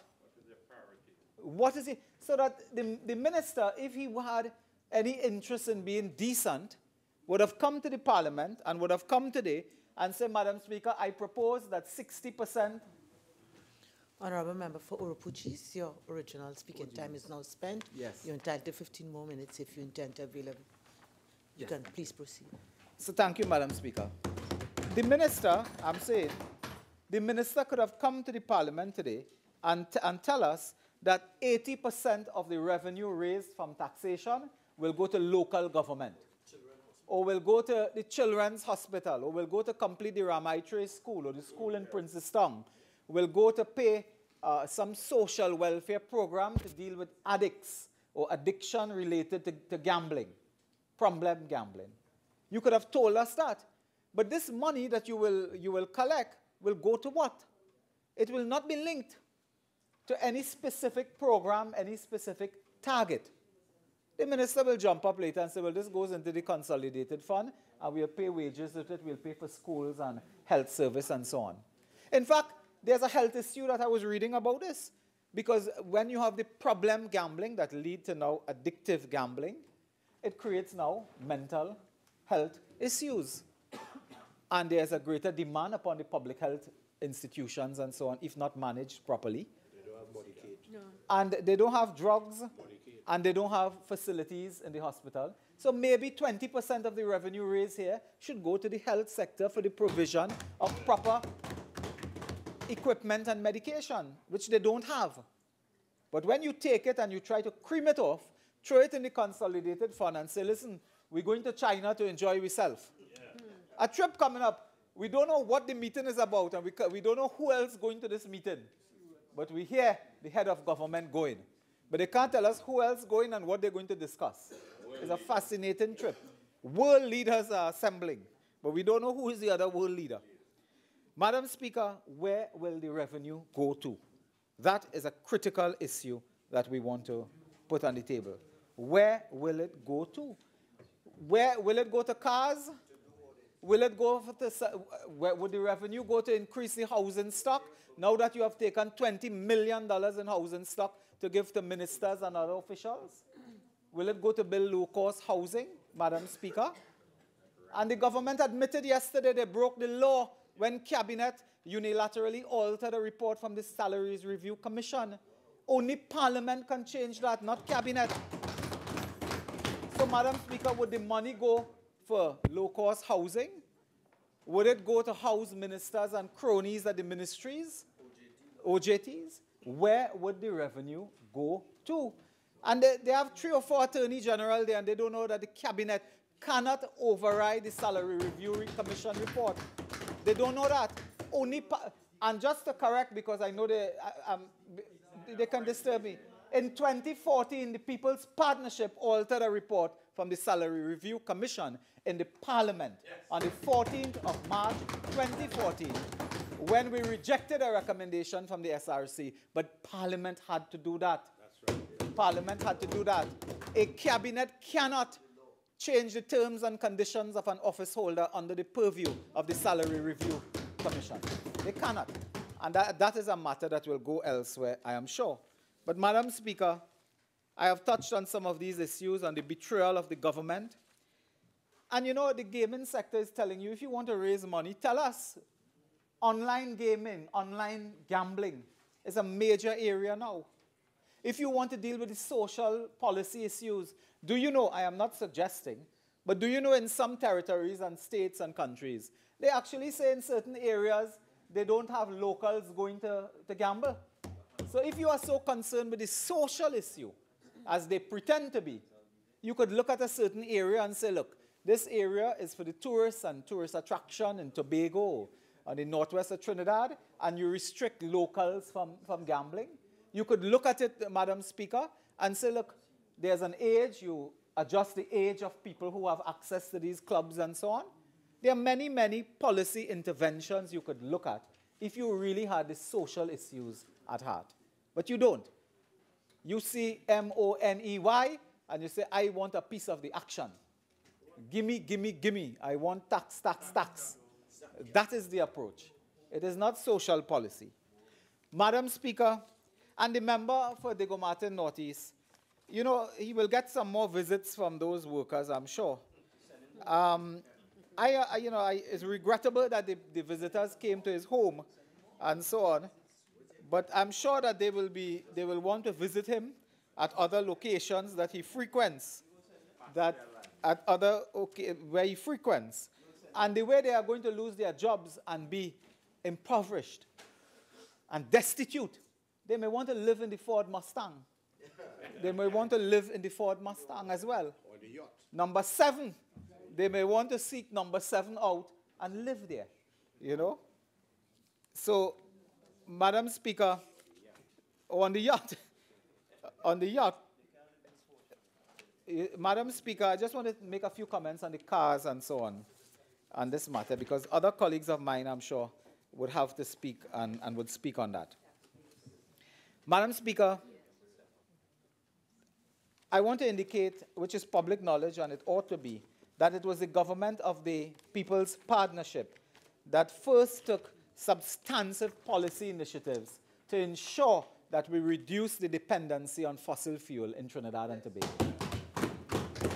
Madam Speaker, it was the Ministry of Energy in 2013, 2014, 2013 that had the whole idea of incentives for hybrids and electric cars as a focus of policy intervention. Today, Madam Speaker, the government has taken action which we believe will have some downside and some fallout in terms of affordability of vehicles to specific group of income categories. Madam Speaker, to remind you that it was the Trinidad and Tobago government under the People's Partnership that first outlined a comprehensive national framework, framework for climate change, Madam Speaker, that was, that was sent to the Paris, that, that was um, Trinidad and Tobago submits its climate action plan ahead, Madam Speaker, of the 2015 Paris Agreement. And when we did that, we had identified three key, key areas to reduce our dependency on fossil fuel and to reduce emissions from, of carbon dioxide. And they were industrial, power generation, and transport. And in the area of transport, we promoted the compressed natural gas uh, initiative. And I think that was introduced on buses as, as well when we were there, Madam Speaker. And uh, Madam Speaker, we have a proud record on that, on that issue. But we are informed, Madam Speaker, that as a result of these initiatives today, this has an impact because they have reduced the bandwidth where taxes and tax exemptions would be possible. And I don't want to get tied up here with 1943 and 1921 and 1763 and so on. I will use cars as an example because the cars are known and the car, everybody out there would have a sense of the engine power of the cars and so on. Madam Speaker, do you know for the poor man, a Serena or a Nova, these are used as taxi so a poor man who is retrenched, who has no job, who wants to earn a little living with a taxi in his area, the cost, because they have moved the bandwidth and to, to go to 1999 cc now, they have increased it. A taxi car that you want to buy because you want to eke out a living because you lost your job in the ministry of this or ministry of that, the cost of that, Serena, will move from one, approximately $150,000 to $300,000 as a result of this. Madam Speaker, yeah, Madam Speaker, I am also told that a vehicle, for example, like the X-Trail SUV hybrid, that has become very popular with middle income families and so on. And you know, we have now laws, and I must say good laws, that you have to put children and babies in their seats and so on. I support that a thousand percent. Right. Yeah. yeah. I support that, Madam Speaker. But when you have laws where you are now compelled, as you should be, to protect children and babies and so on, it requires you to have a different type of vehicle. This is a country that is ridden by crime. This is a country that is ridden by flood. You can't have low cars that, that one foot or 18 inches or something off the ground. You can't drive nowhere in Trinidad with that. You can't drive nowhere in Trinidad with these low cars because of flooding, because of crime and the X-Trail SUV, for example, I give only, huh? Yeah. If you fall in a pothole, the car could disappear. These small cars, you know what they have done? They have increased the taxes now because the X-Trail SUV, which was a popular vehicle among the middle income range of people, particularly families, because you want to secure your children and your babies and so on. You have put a 25% increase on the X-Trail SUV. So instead of, I am told, instead of $205,000 for one, it goes to $290,000, $300,000 for one. So that that now is out of the reach of lower income people, middle income people. So there's this attack on all sides towards working people and middle income people. There's this all out onslaught. Pay more for tires, pay more for the cars that are, were before affordable to you, pay more tax in everything that we do. Because the Minister of Finance has a framework where anything he see, listen, they will go into the bars where they're playing all fours. See these people playing all fours on a table and decide to tax every table playing all fours, you know. If they, yeah, if you give them the chance, they will, they will do that. They will do that anywhere there's an activity. They will threaten doubles man, roti man, bake and shark, nuts man. When they realize that they may have a handful of one dollar bill, they will tax them. And this is the risk because you have no vision, you have no plan, you have no development focus. Madam Speaker, in the last two years, as I wind up, if you can tell me one thing that they have built, I will tell you one thing that they have not destroyed. Hmm. Every sector, every area. They talk big about diversification. They talk big about that. Which area have you contributed to diversifying what? Where? Marijuana cultivation? What have you done in two years in any one sector to say it is now showing growth, more jobs, more revenue, more taxation, more investment? The Unicoma opened the other day. That's an investment that was done under the People's Partnership. Oh, you look at this country, all the malls, the hospitals, C3. C3, everything was done under the People's Partnership. Two things they tried when they got into office. They turned this out to build a car park in Port of Spain. I don't think they're parking cars yet. They turned this side. no, they didn't turn this side. They said they were doing a walkover in the Beetham. Anybody see the walkover? They had a PPP for the housing project in St. Joseph. Officials of the government and the private contractor fight, and the PPP collapse into a P. Madam Speaker, and Madam Speaker, that has collapsed as well. And while this is happening, the Minister of Finance comes to the House today and tells us, I don't know about this sector. I never went to a game in um, a, a, casino. I never went into a bar. I don't frequent there. But somebody tell me that has happened. Somebody tell me every 20 seconds it have a gamble. And I working on that. $500,000 on a ruling machine they're making, I come in for that. Yeah. It is, it is he say, he say that he says. That is how they, they project public policy. And this, and this is why the Minister of Finance find himself with a private matter with $55 million to pay. This is why he find himself there. Because somebody tell him that somebody tell him that somebody tell him. And then the judge tell him to pay 55 million. So when you have an approach like this, you are bound to get yourself in trouble. I'm asking the minister to reconsider this ill-conceived order because if it is not approved by the House, it will cease to be law. It is law, I believe. It will cease to be. Reconsider your ways. Atone for your sins. Repent. Speak. Depart from your sins. And let the casino workers with their soul and their heart and these poor people, many of whom are your constituents, let them impose upon you some decency, some heart, some love for this Christmas season. Madam Speaker, I thank you. Fernando West. Thank you, Madam Speaker. Madam Speaker, it taxes every fiber of my being to listen to the contribution of Oropouche East on a continuous basis. And I'll tell you why, Madam Speaker. I'll tell you why. I'll tell you why the, I'll tell you why the, the exercise to conscience, the exercise to morality, the exercise to intelligence is such a difficult one for certain people. Madam Speaker, we're here to treat with a matter of law. The law that we're treating with today is the order before us to be dealt with by motion. It is as put out by the Minister of Finance pursuant to Section 3 of the Provisional Te Collection of Taxes Act.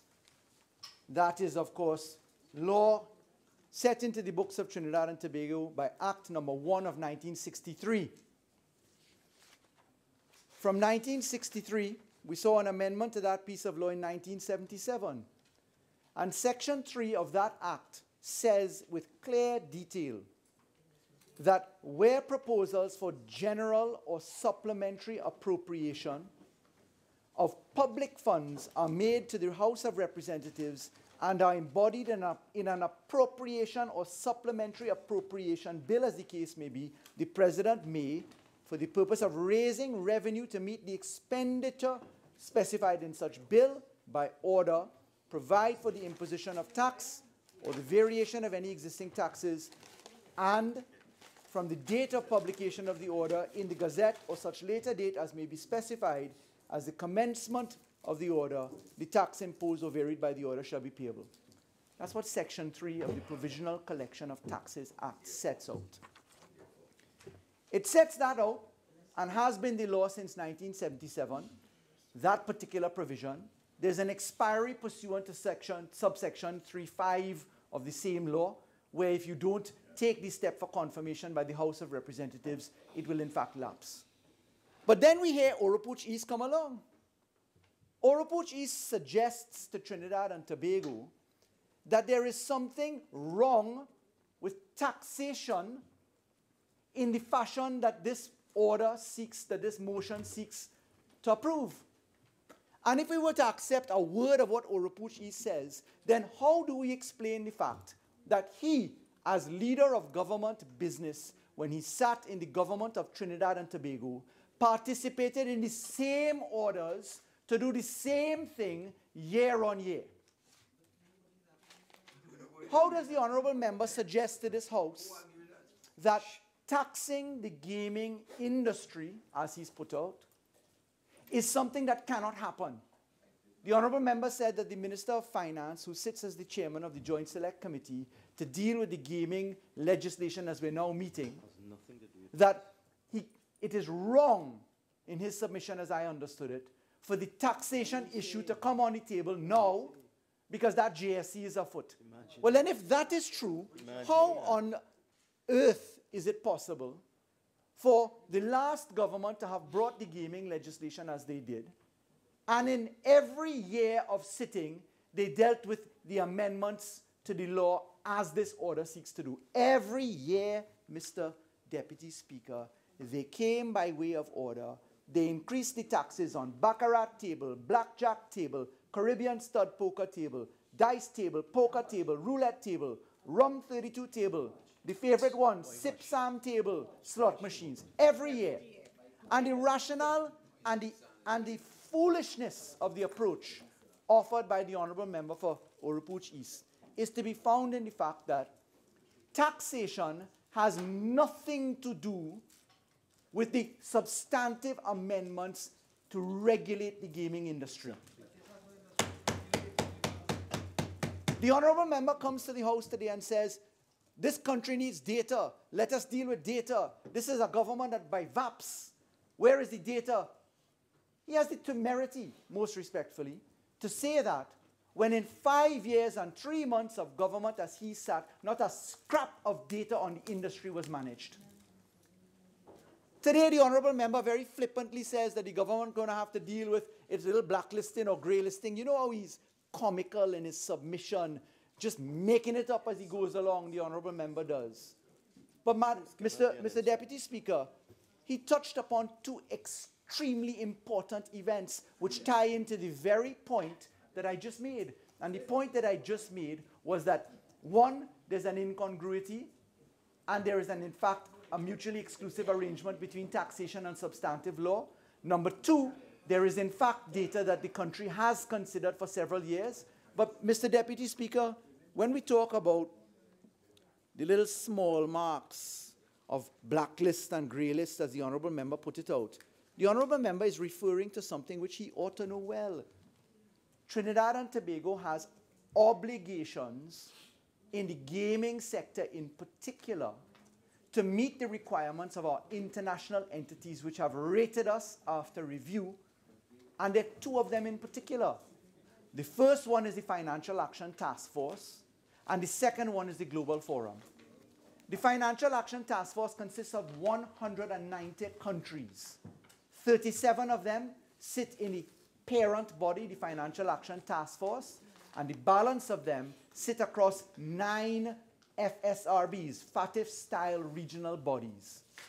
And those entities and countries, because there are entities from each country that sit at the table finance intelligence unit, uh, the, the police force and the revenue collection authorities, the law enforcement agencies, ministers of national security, attorneys general, all sit in these events. And these countries have rated Trinidad and Tobago upon the tenure of the last government's performance. And the Financial Action Task Force completed its ratings of Trinidad and Tobago in something called the fourth round mutual evaluation based upon the work in January 2015. And as a result of that rating in January 2015, it was observed that the last government did absolutely nothing, absolutely nothing to improve the effectiveness and technical compliances of Trinidad and Tobago. And I'm hearing the Honorable Member's office say, what you do and what you did in two years. Mr. Deputy Speaker, I am able to say no. First of all, I must, I'm bound to correct another irresponsibility by Oropouche East. Can Naparima please just keep it quiet? It's an inability to control oneself when you engage the way you do, Honorable Member. Members, Thank you, Mr. members. Deputy Speaker, for your protection. Member for Naparima, again, right? I haven't made mention of anything, but I've been taking note of it. Please, go ahead. Member. Thank you. One must learn to contain oneself. We sat down and listened quietly. Mr. Deputy Speaker, the but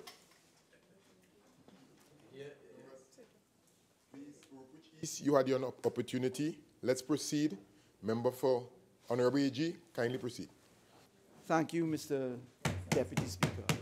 Mr. Deputy Speaker, the honorable members asked sotto voce across the floor, what have you done in two years relative to the remedy that is required to the absolute fiasco that was left by the last government in the Financial Action Task Force? I am very pleased to say that as confirmed by the Financial Action Task Force in the plenary held in Argentina last week, it ended Trinidad and Tobago was observed to have made massive success, so recorded in writing by the Financial Action Task Force, to such point where they have removed us from the obligation to report to the ICRG grouping at FATF and referred half of that work to the Financial Action Task Force sub-body, which is the Caribbean Financial Action Task Force. Further, in their published post observation period report, the government of Trinidad and Tobago came in for open compliment by the international agency for the work conducted in the last two years, specifically in respect of the criminal justice reforms, the caseload and management that was undertaken, the levels of effectiveness demonstrated in the operationalization of the anti-terrorism laws, in the forfeiture, in the civil claims. Because we heard Oropouche East a little while ago say perhaps the minister is inclined to being a thief in the night. I want to remind that they're thieves in the day. And thieves in the day have found themselves into the contemplation of our international agencies because they have looked with great interest at the work that the government of Trinidad and Tobago has done specifically in relation to anti-corruption, money laundering, bid rigging, and money laundering as a major context of what the FATF does. The member for Naparima has repeated across this floor on umpteen occasions as we've started that Trinidad and Tobago is grey listed. Said it.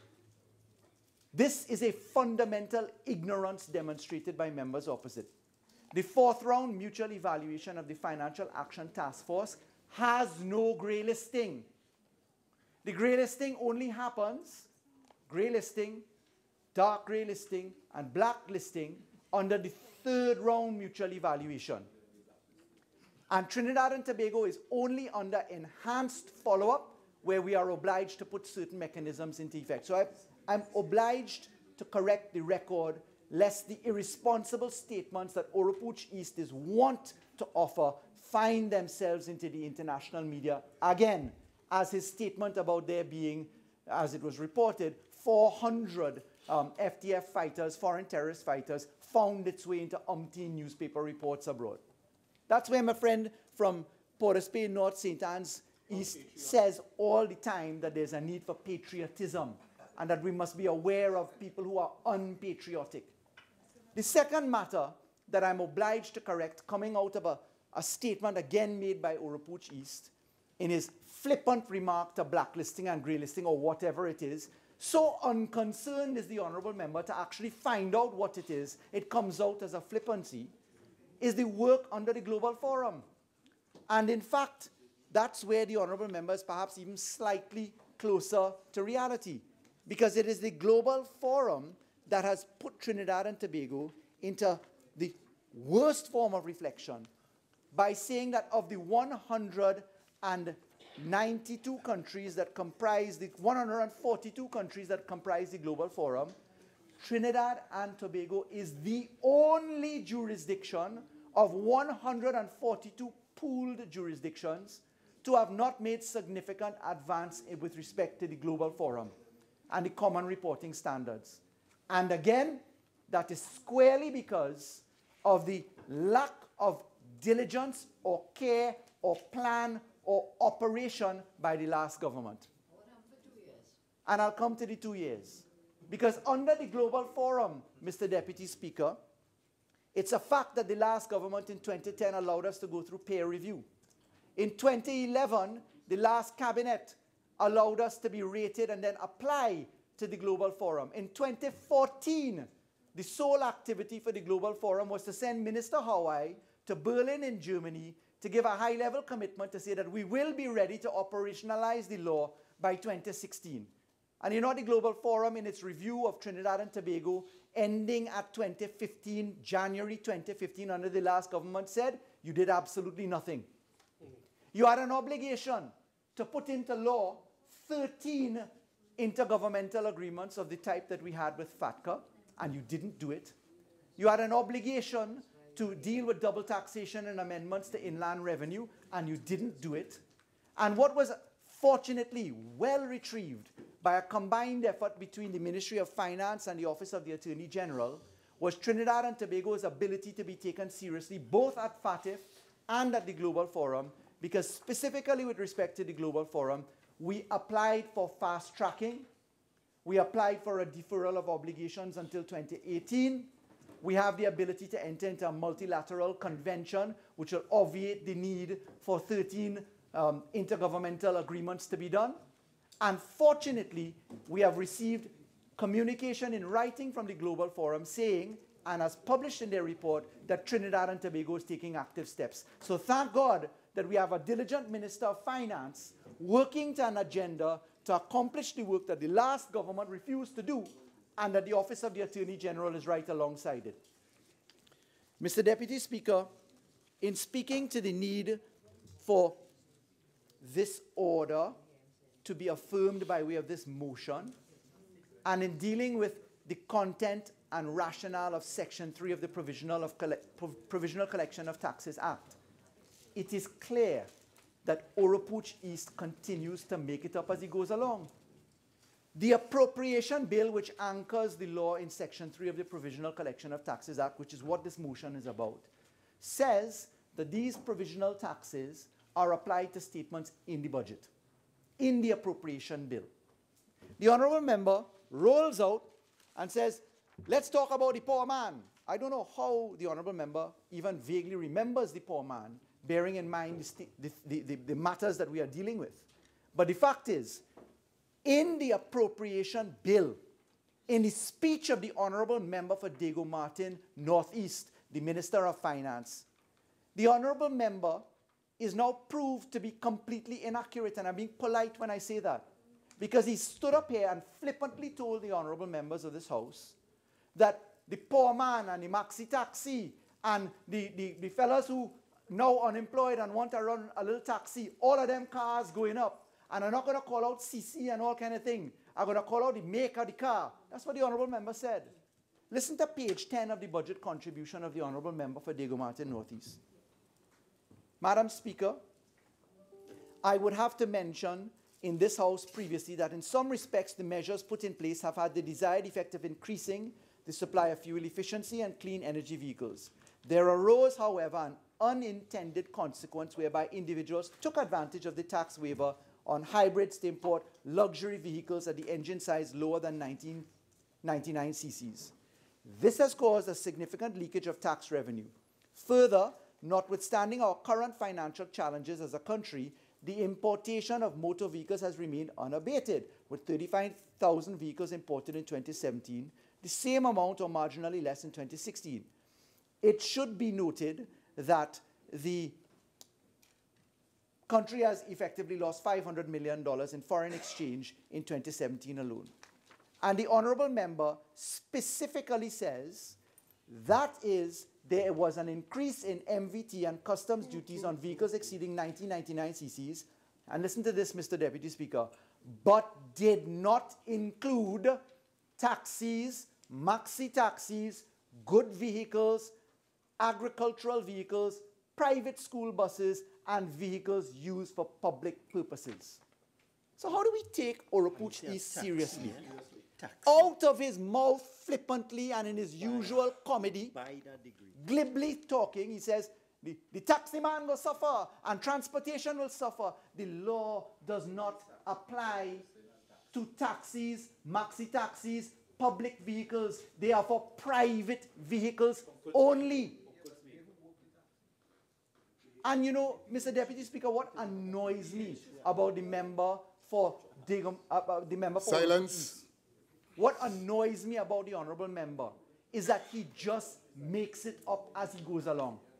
Could not be bothered to read the very order, which is the subject of the motion on this parliament, which clearly sets out, if you do your homework, that you're not talking about taxis and maxi taxis and public transportation.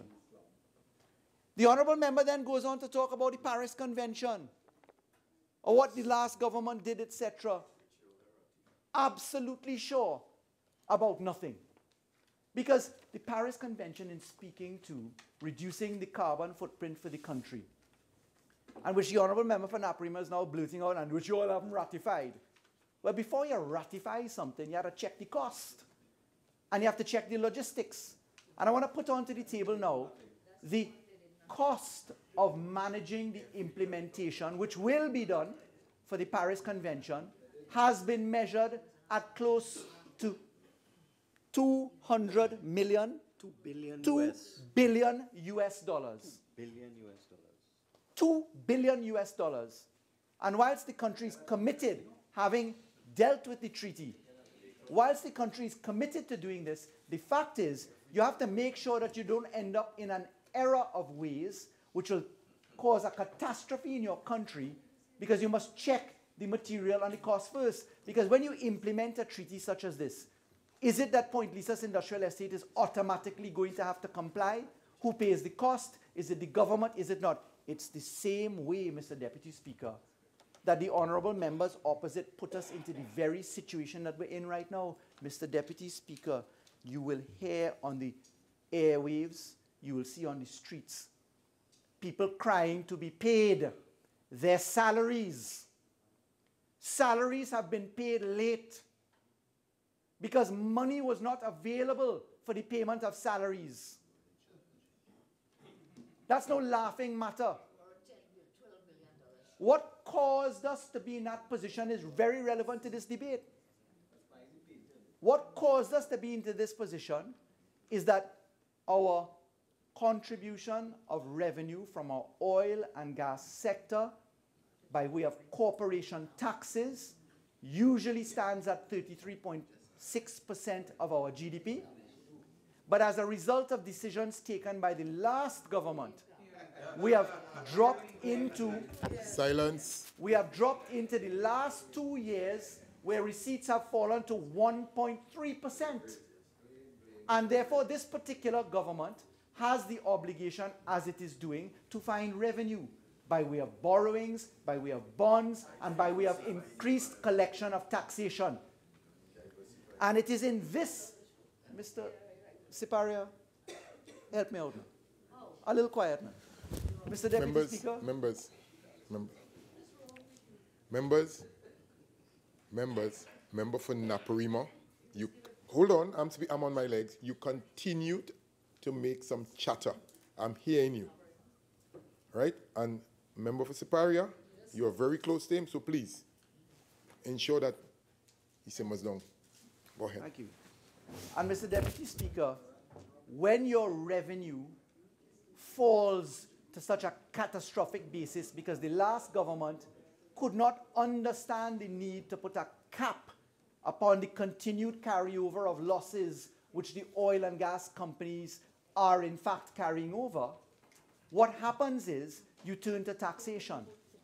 And in levying the taxation as it relates to the gaming sector in particular, which the last government did every single year in appropriation bills, as this government has done, and in causing the increase as we have done by 100% in certain of the activities, what we are doing, Mr. Deputy Speaker, is ensuring that we actually have money to pay wages.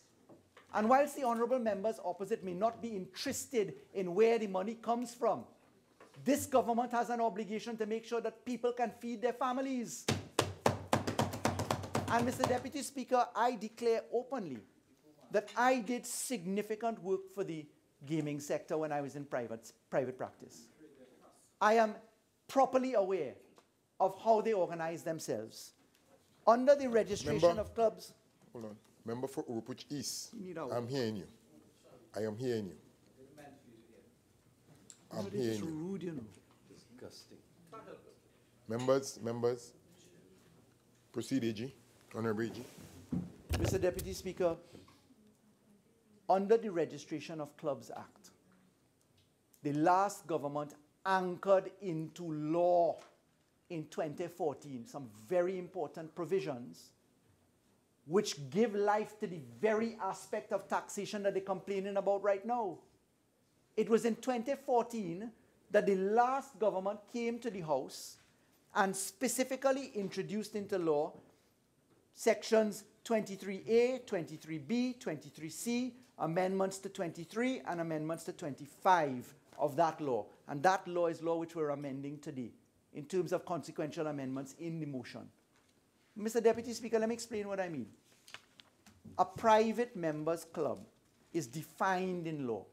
It's under the Registration of Clubs Act. That's chapter 2101. A members club means a club not constituted for the acquisition of gain, the members of which contribute to the funds out of which the expenses of conducting the club are paid and are jointly entitled to all the property and funds of the club. That's what a members club is in law. To carry out gambling, as is done in a members club, every gambler has to become a member. Because the law says if you're not a member, or if you frequent it in terms of membership more than four times, and you don't have seven days in between your, your visitor with a member rule, that you could shut down the club. So the persons that go to casinos become members. According to the law, all of the members are entitled to all share in the profit of the club. Big joke. All. But the last government put into law, in the context of the law, and in particular, I want to refer you to it, that not only must we have licenses issued every uh, 15th of January of every year, etc., but that persons can't become honorary members. You can't frequent it as a visitor. There must be gaps in the law. People who are habitually admitted as members without intervals of at least seven days between nomination and admission are in trouble. But they go on, Mr. Deputy Speaker, to say that there is to be taxation. Section 23.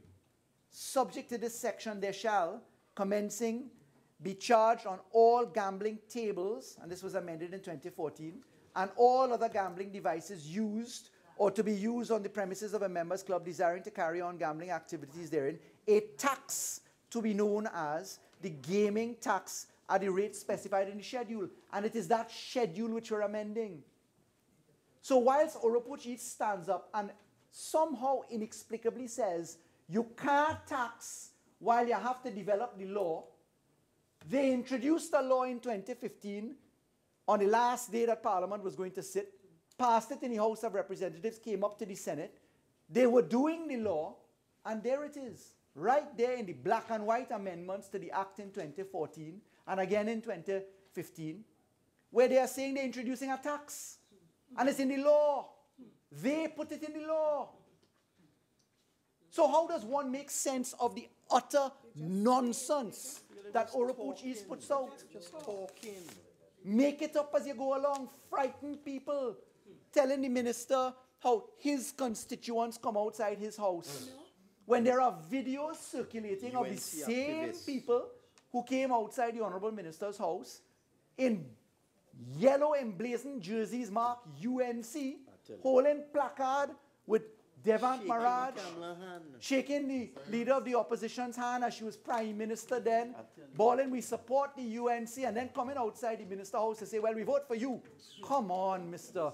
Mr. Deputy Speaker, come on.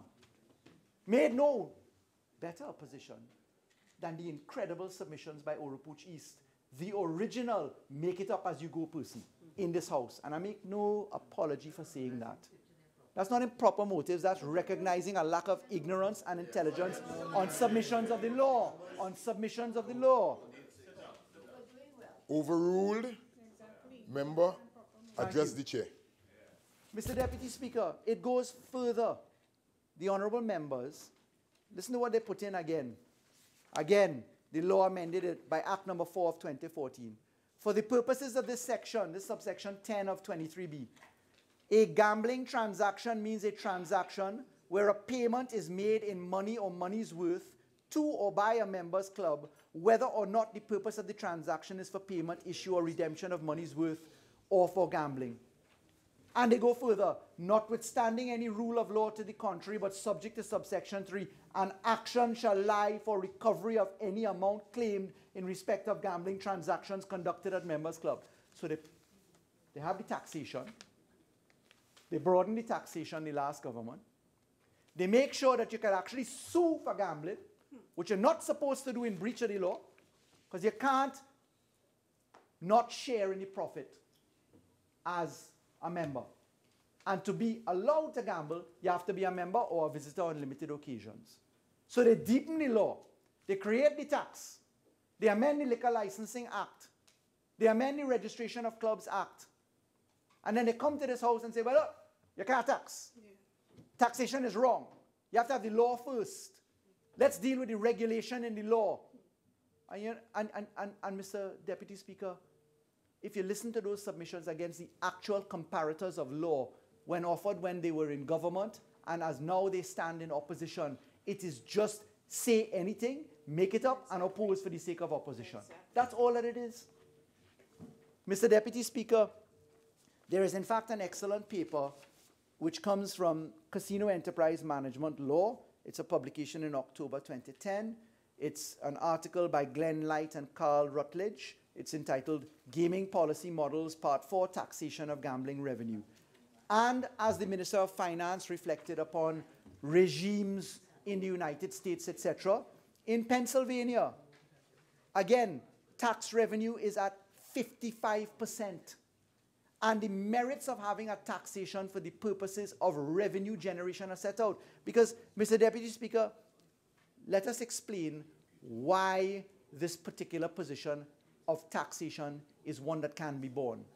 Number one, the fact is that the members' clubs, operating as private members' clubs but really as casinos, have been recognized to be that. Number two, the position is that they earn significant amount of revenue. When the Honorable Minister of Finance is talking about throughput, revenue throughput versus profit are two different things.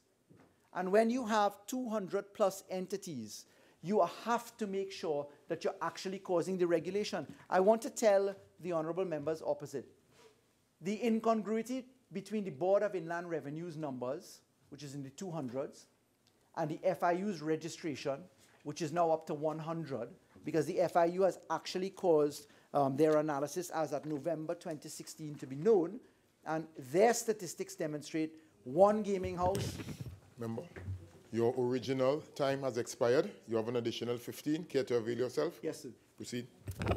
So the FIU statistics as of November 2016 demonstrate Gaming House 1, pool betting 13 establishments, National Lotteries Control Board, there's one of them, private members clubs 86, total 101, but the casino style operators, as they put it, at 200. By raising the bar on taxation from entities that are well heeled, where, Mr. Deputy Speaker, I am able to say with certainty the return on investment for a casino is 12 months.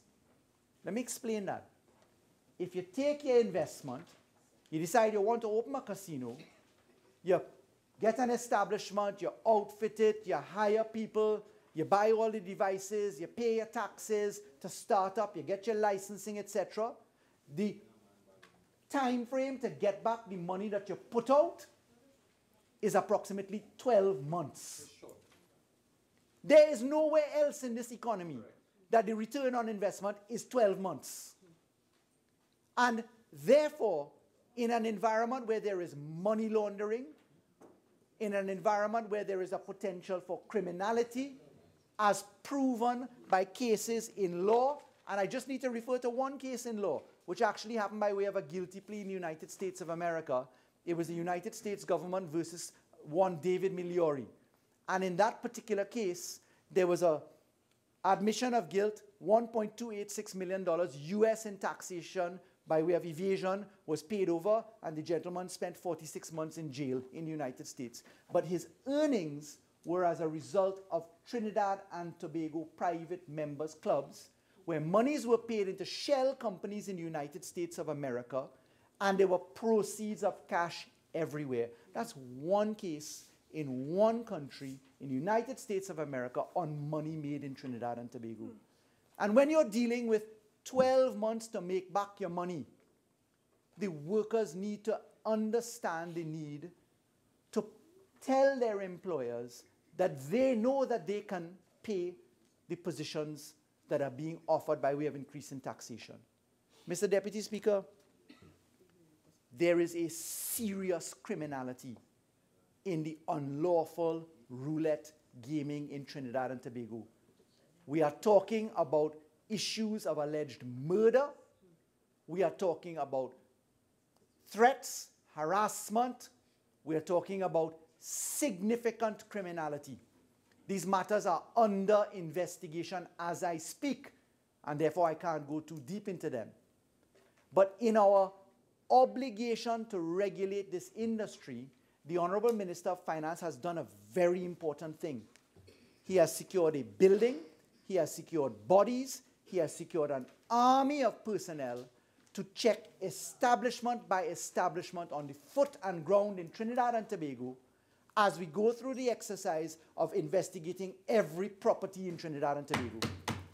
And in dealing with that, Mr. Deputy Speaker, what happens is you will identify the casinos, the amusement bars, the positions, and therefore the reporting back into the new and improved structures of government means that you will enforce the law. When you enforce the law, you tie in, as we are intent upon tying in, to our campaign, which will meet this parliament shortly, of dealing with white collar crime and dealing with follow the money and dealing with it not as we are doing only in relation to litigation which is afoot against known criminals in this country or persons who have breached certain laws in this country because there's criminality and civil, not only in respect of persons like that who are known, but also in terms of legislation as we deal with legislation. And Mr. Deputy Speaker, this motion before us therefore ties entirely back to the very flippancy again on the FATF obligations and on the Global Forum obligations. Because contained in the recommendations and immediate outcomes that Global Forum recognizes should be applied using the FATF standards, we are obliged to treat with private members clubs. As you know, we're in a joint select committee. I sit as a member, and therefore I'm not permitted to prematurely deal with the work that is inside the joint select committee. The legislation is born upon the back of consultation it is born upon the back of drill down of statistics. And far from what Oropouche actually says, the Minister of Finance is for the first time in the history of the Ministry of Finance providing statistical information to Trinidad and Tobago, which is why I want to give a compliment to the Minister of Planning. Because it is the Minister of Planning that is pushing the National Statistics Institute, something which has stood outstanding for years, which the IMF, which the international agencies, etc., have said you have got to get your metrics right. But, Mr. Deputy Speaker, these are not just mere words, because the words are demonstrated in the fact that the Office of the Attorney General has come to this Parliament on every bill that we pilot with statistics in Trinidad and Tobago. We lay out, whether it is in respect of our children, our prisons, our court system, we lay out who and what we are based upon Trinidad and Tobago information. So, Mr. Deputy Speaker, I stand in full support of the very hard work and hard task that the Minister of Finance has done and has to manage. I ask the people of Trinidad and Tobago to have patience in terms of the receipt of their monies by way of salary, etc.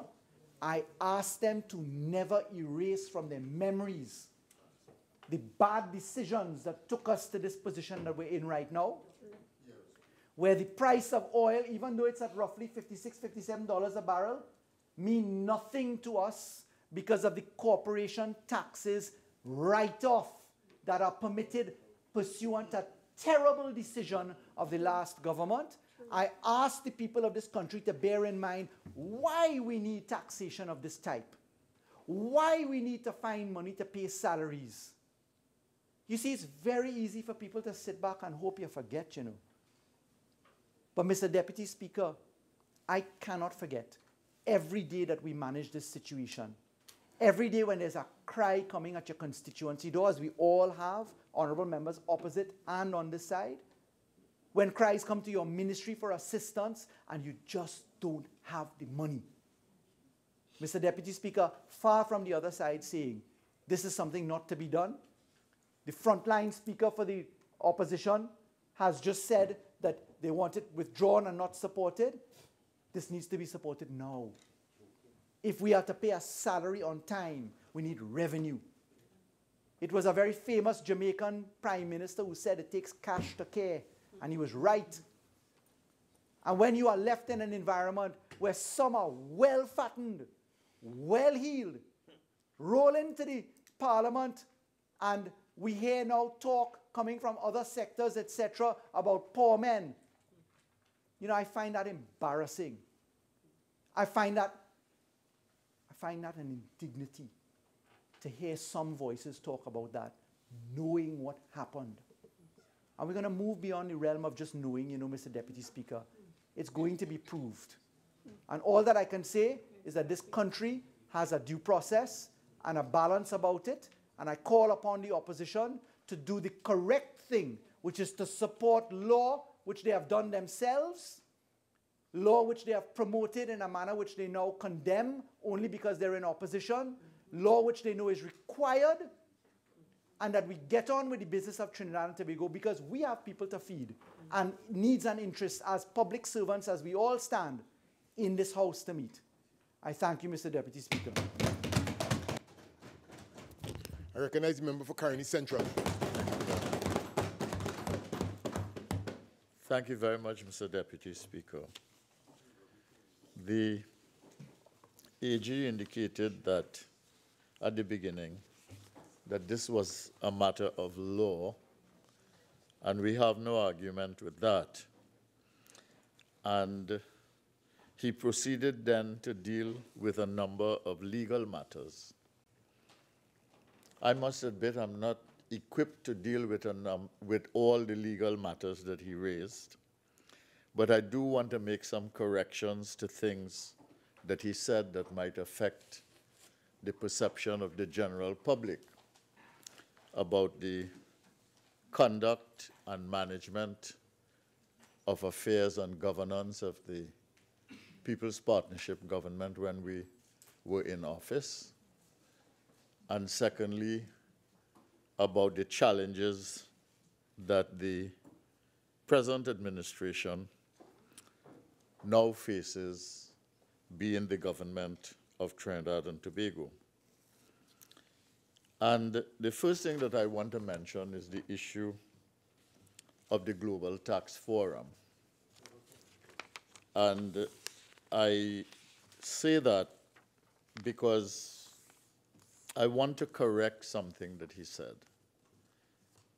He basically gave the impression, and I'm hope, I hope that I'm interpreting it right, Mr. Deputy Speaker, that we had a deadline to meet in 2016, and we were in danger of missing that deadline and were likely to be blacklisted.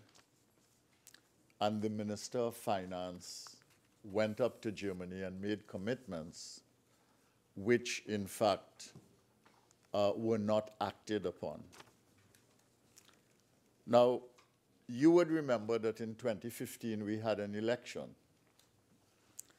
And what it means then is that a deadline of 2016 in the midst of an election year becomes very, very difficult to meet on something as important as global financial commitments that have to do with the honoring of international obligation. The, if members, Mr. Deputy members, Speaker, members, just like the members, opportunity listen. to speak. Hold on a sec. Hold on a sec. I am in the chair, member for Naparima, All right? So do not speak before I get the opportunity to. Member for St. Joseph, Finance Minister, I would like to hear the member in silence, please. Kindly proceed, Caroni Central. Yes. On that basis, therefore, the Minister of Finance did go to Germany. But he didn't travel alone. He went with a representative from the Board of Inland Revenue, Mr. Deputy Speaker. And the reason for that is because of two issues. One, he wanted to make sure that the BIR understood, first of all, what was going on in the global forum in Germany.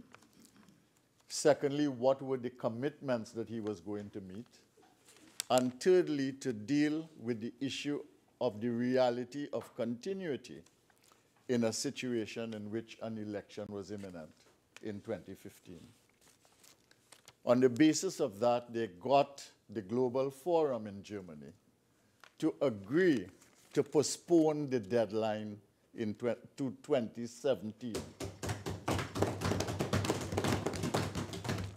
The 2017 de- deadline, therefore, was something known to the government of Trinidad and Tobago as government because the head of the BIR was the continuing person who remained with the information regardless of which government was in office.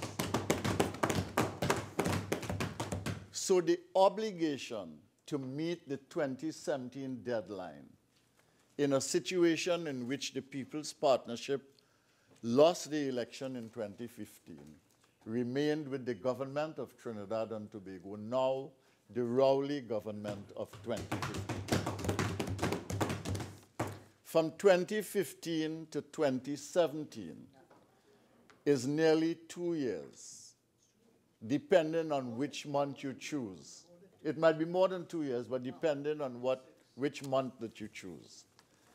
So, in that period, the Attorney General, the Minister of Finance, and others who were working on this had two years in order to meet the deadline or to rectify the situation. And the deadline of 2017 was suggested and agreed upon because the BIR gave the Minister of Finance the assurance that the 2017 deadline could be met. So, the first thing I want to correct is that we are responsible for something that was meant to be achieved in 2017 because we made the commitment. And the second thing that I want to correct is that they did not have the time or could not somehow do it because of things that we had not done or done. And therefore, clearly, this is an obligation of the government of Trinidad and Tobago.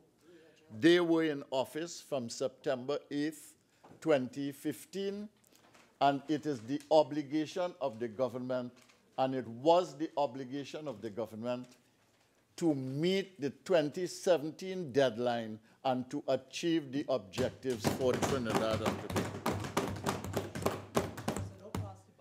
The second issue that I want to deal with is the matter of this uh, statistical institute. And I have no problem with the Minister of Finance complimenting the minister for seeking to uh, establish this statistical institute and to make it a reality. But I think the minister knows very well that when she came to office, the Statistical Institute was approved by the Cabinet of Trinidad and Tobago. That the, our Members, cabinet, member, the statistical um, member. Leader of government business, I'm on my legs, and I would not tolerate the crosstalk. Member for Princestown, I'm on my legs, and I will not tolerate the crosstalk also. All right, we have two more minutes, just under two minutes. We'll break for tea, so continue, member. Okay. I just want to finish this point.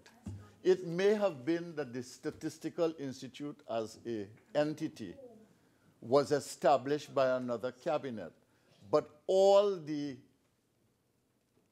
actions taken to establish the institute, including preparation by the same IMF, who were involved in it, and the, the cabinet note which indicated how that institute would be established, how it would be formulated, how the board would be formed, etc.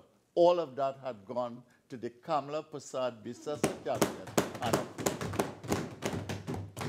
and that is a fact, Mr. Deputy Speaker. The, there was one other matter I think that it was necessary to address, and that is the issue of.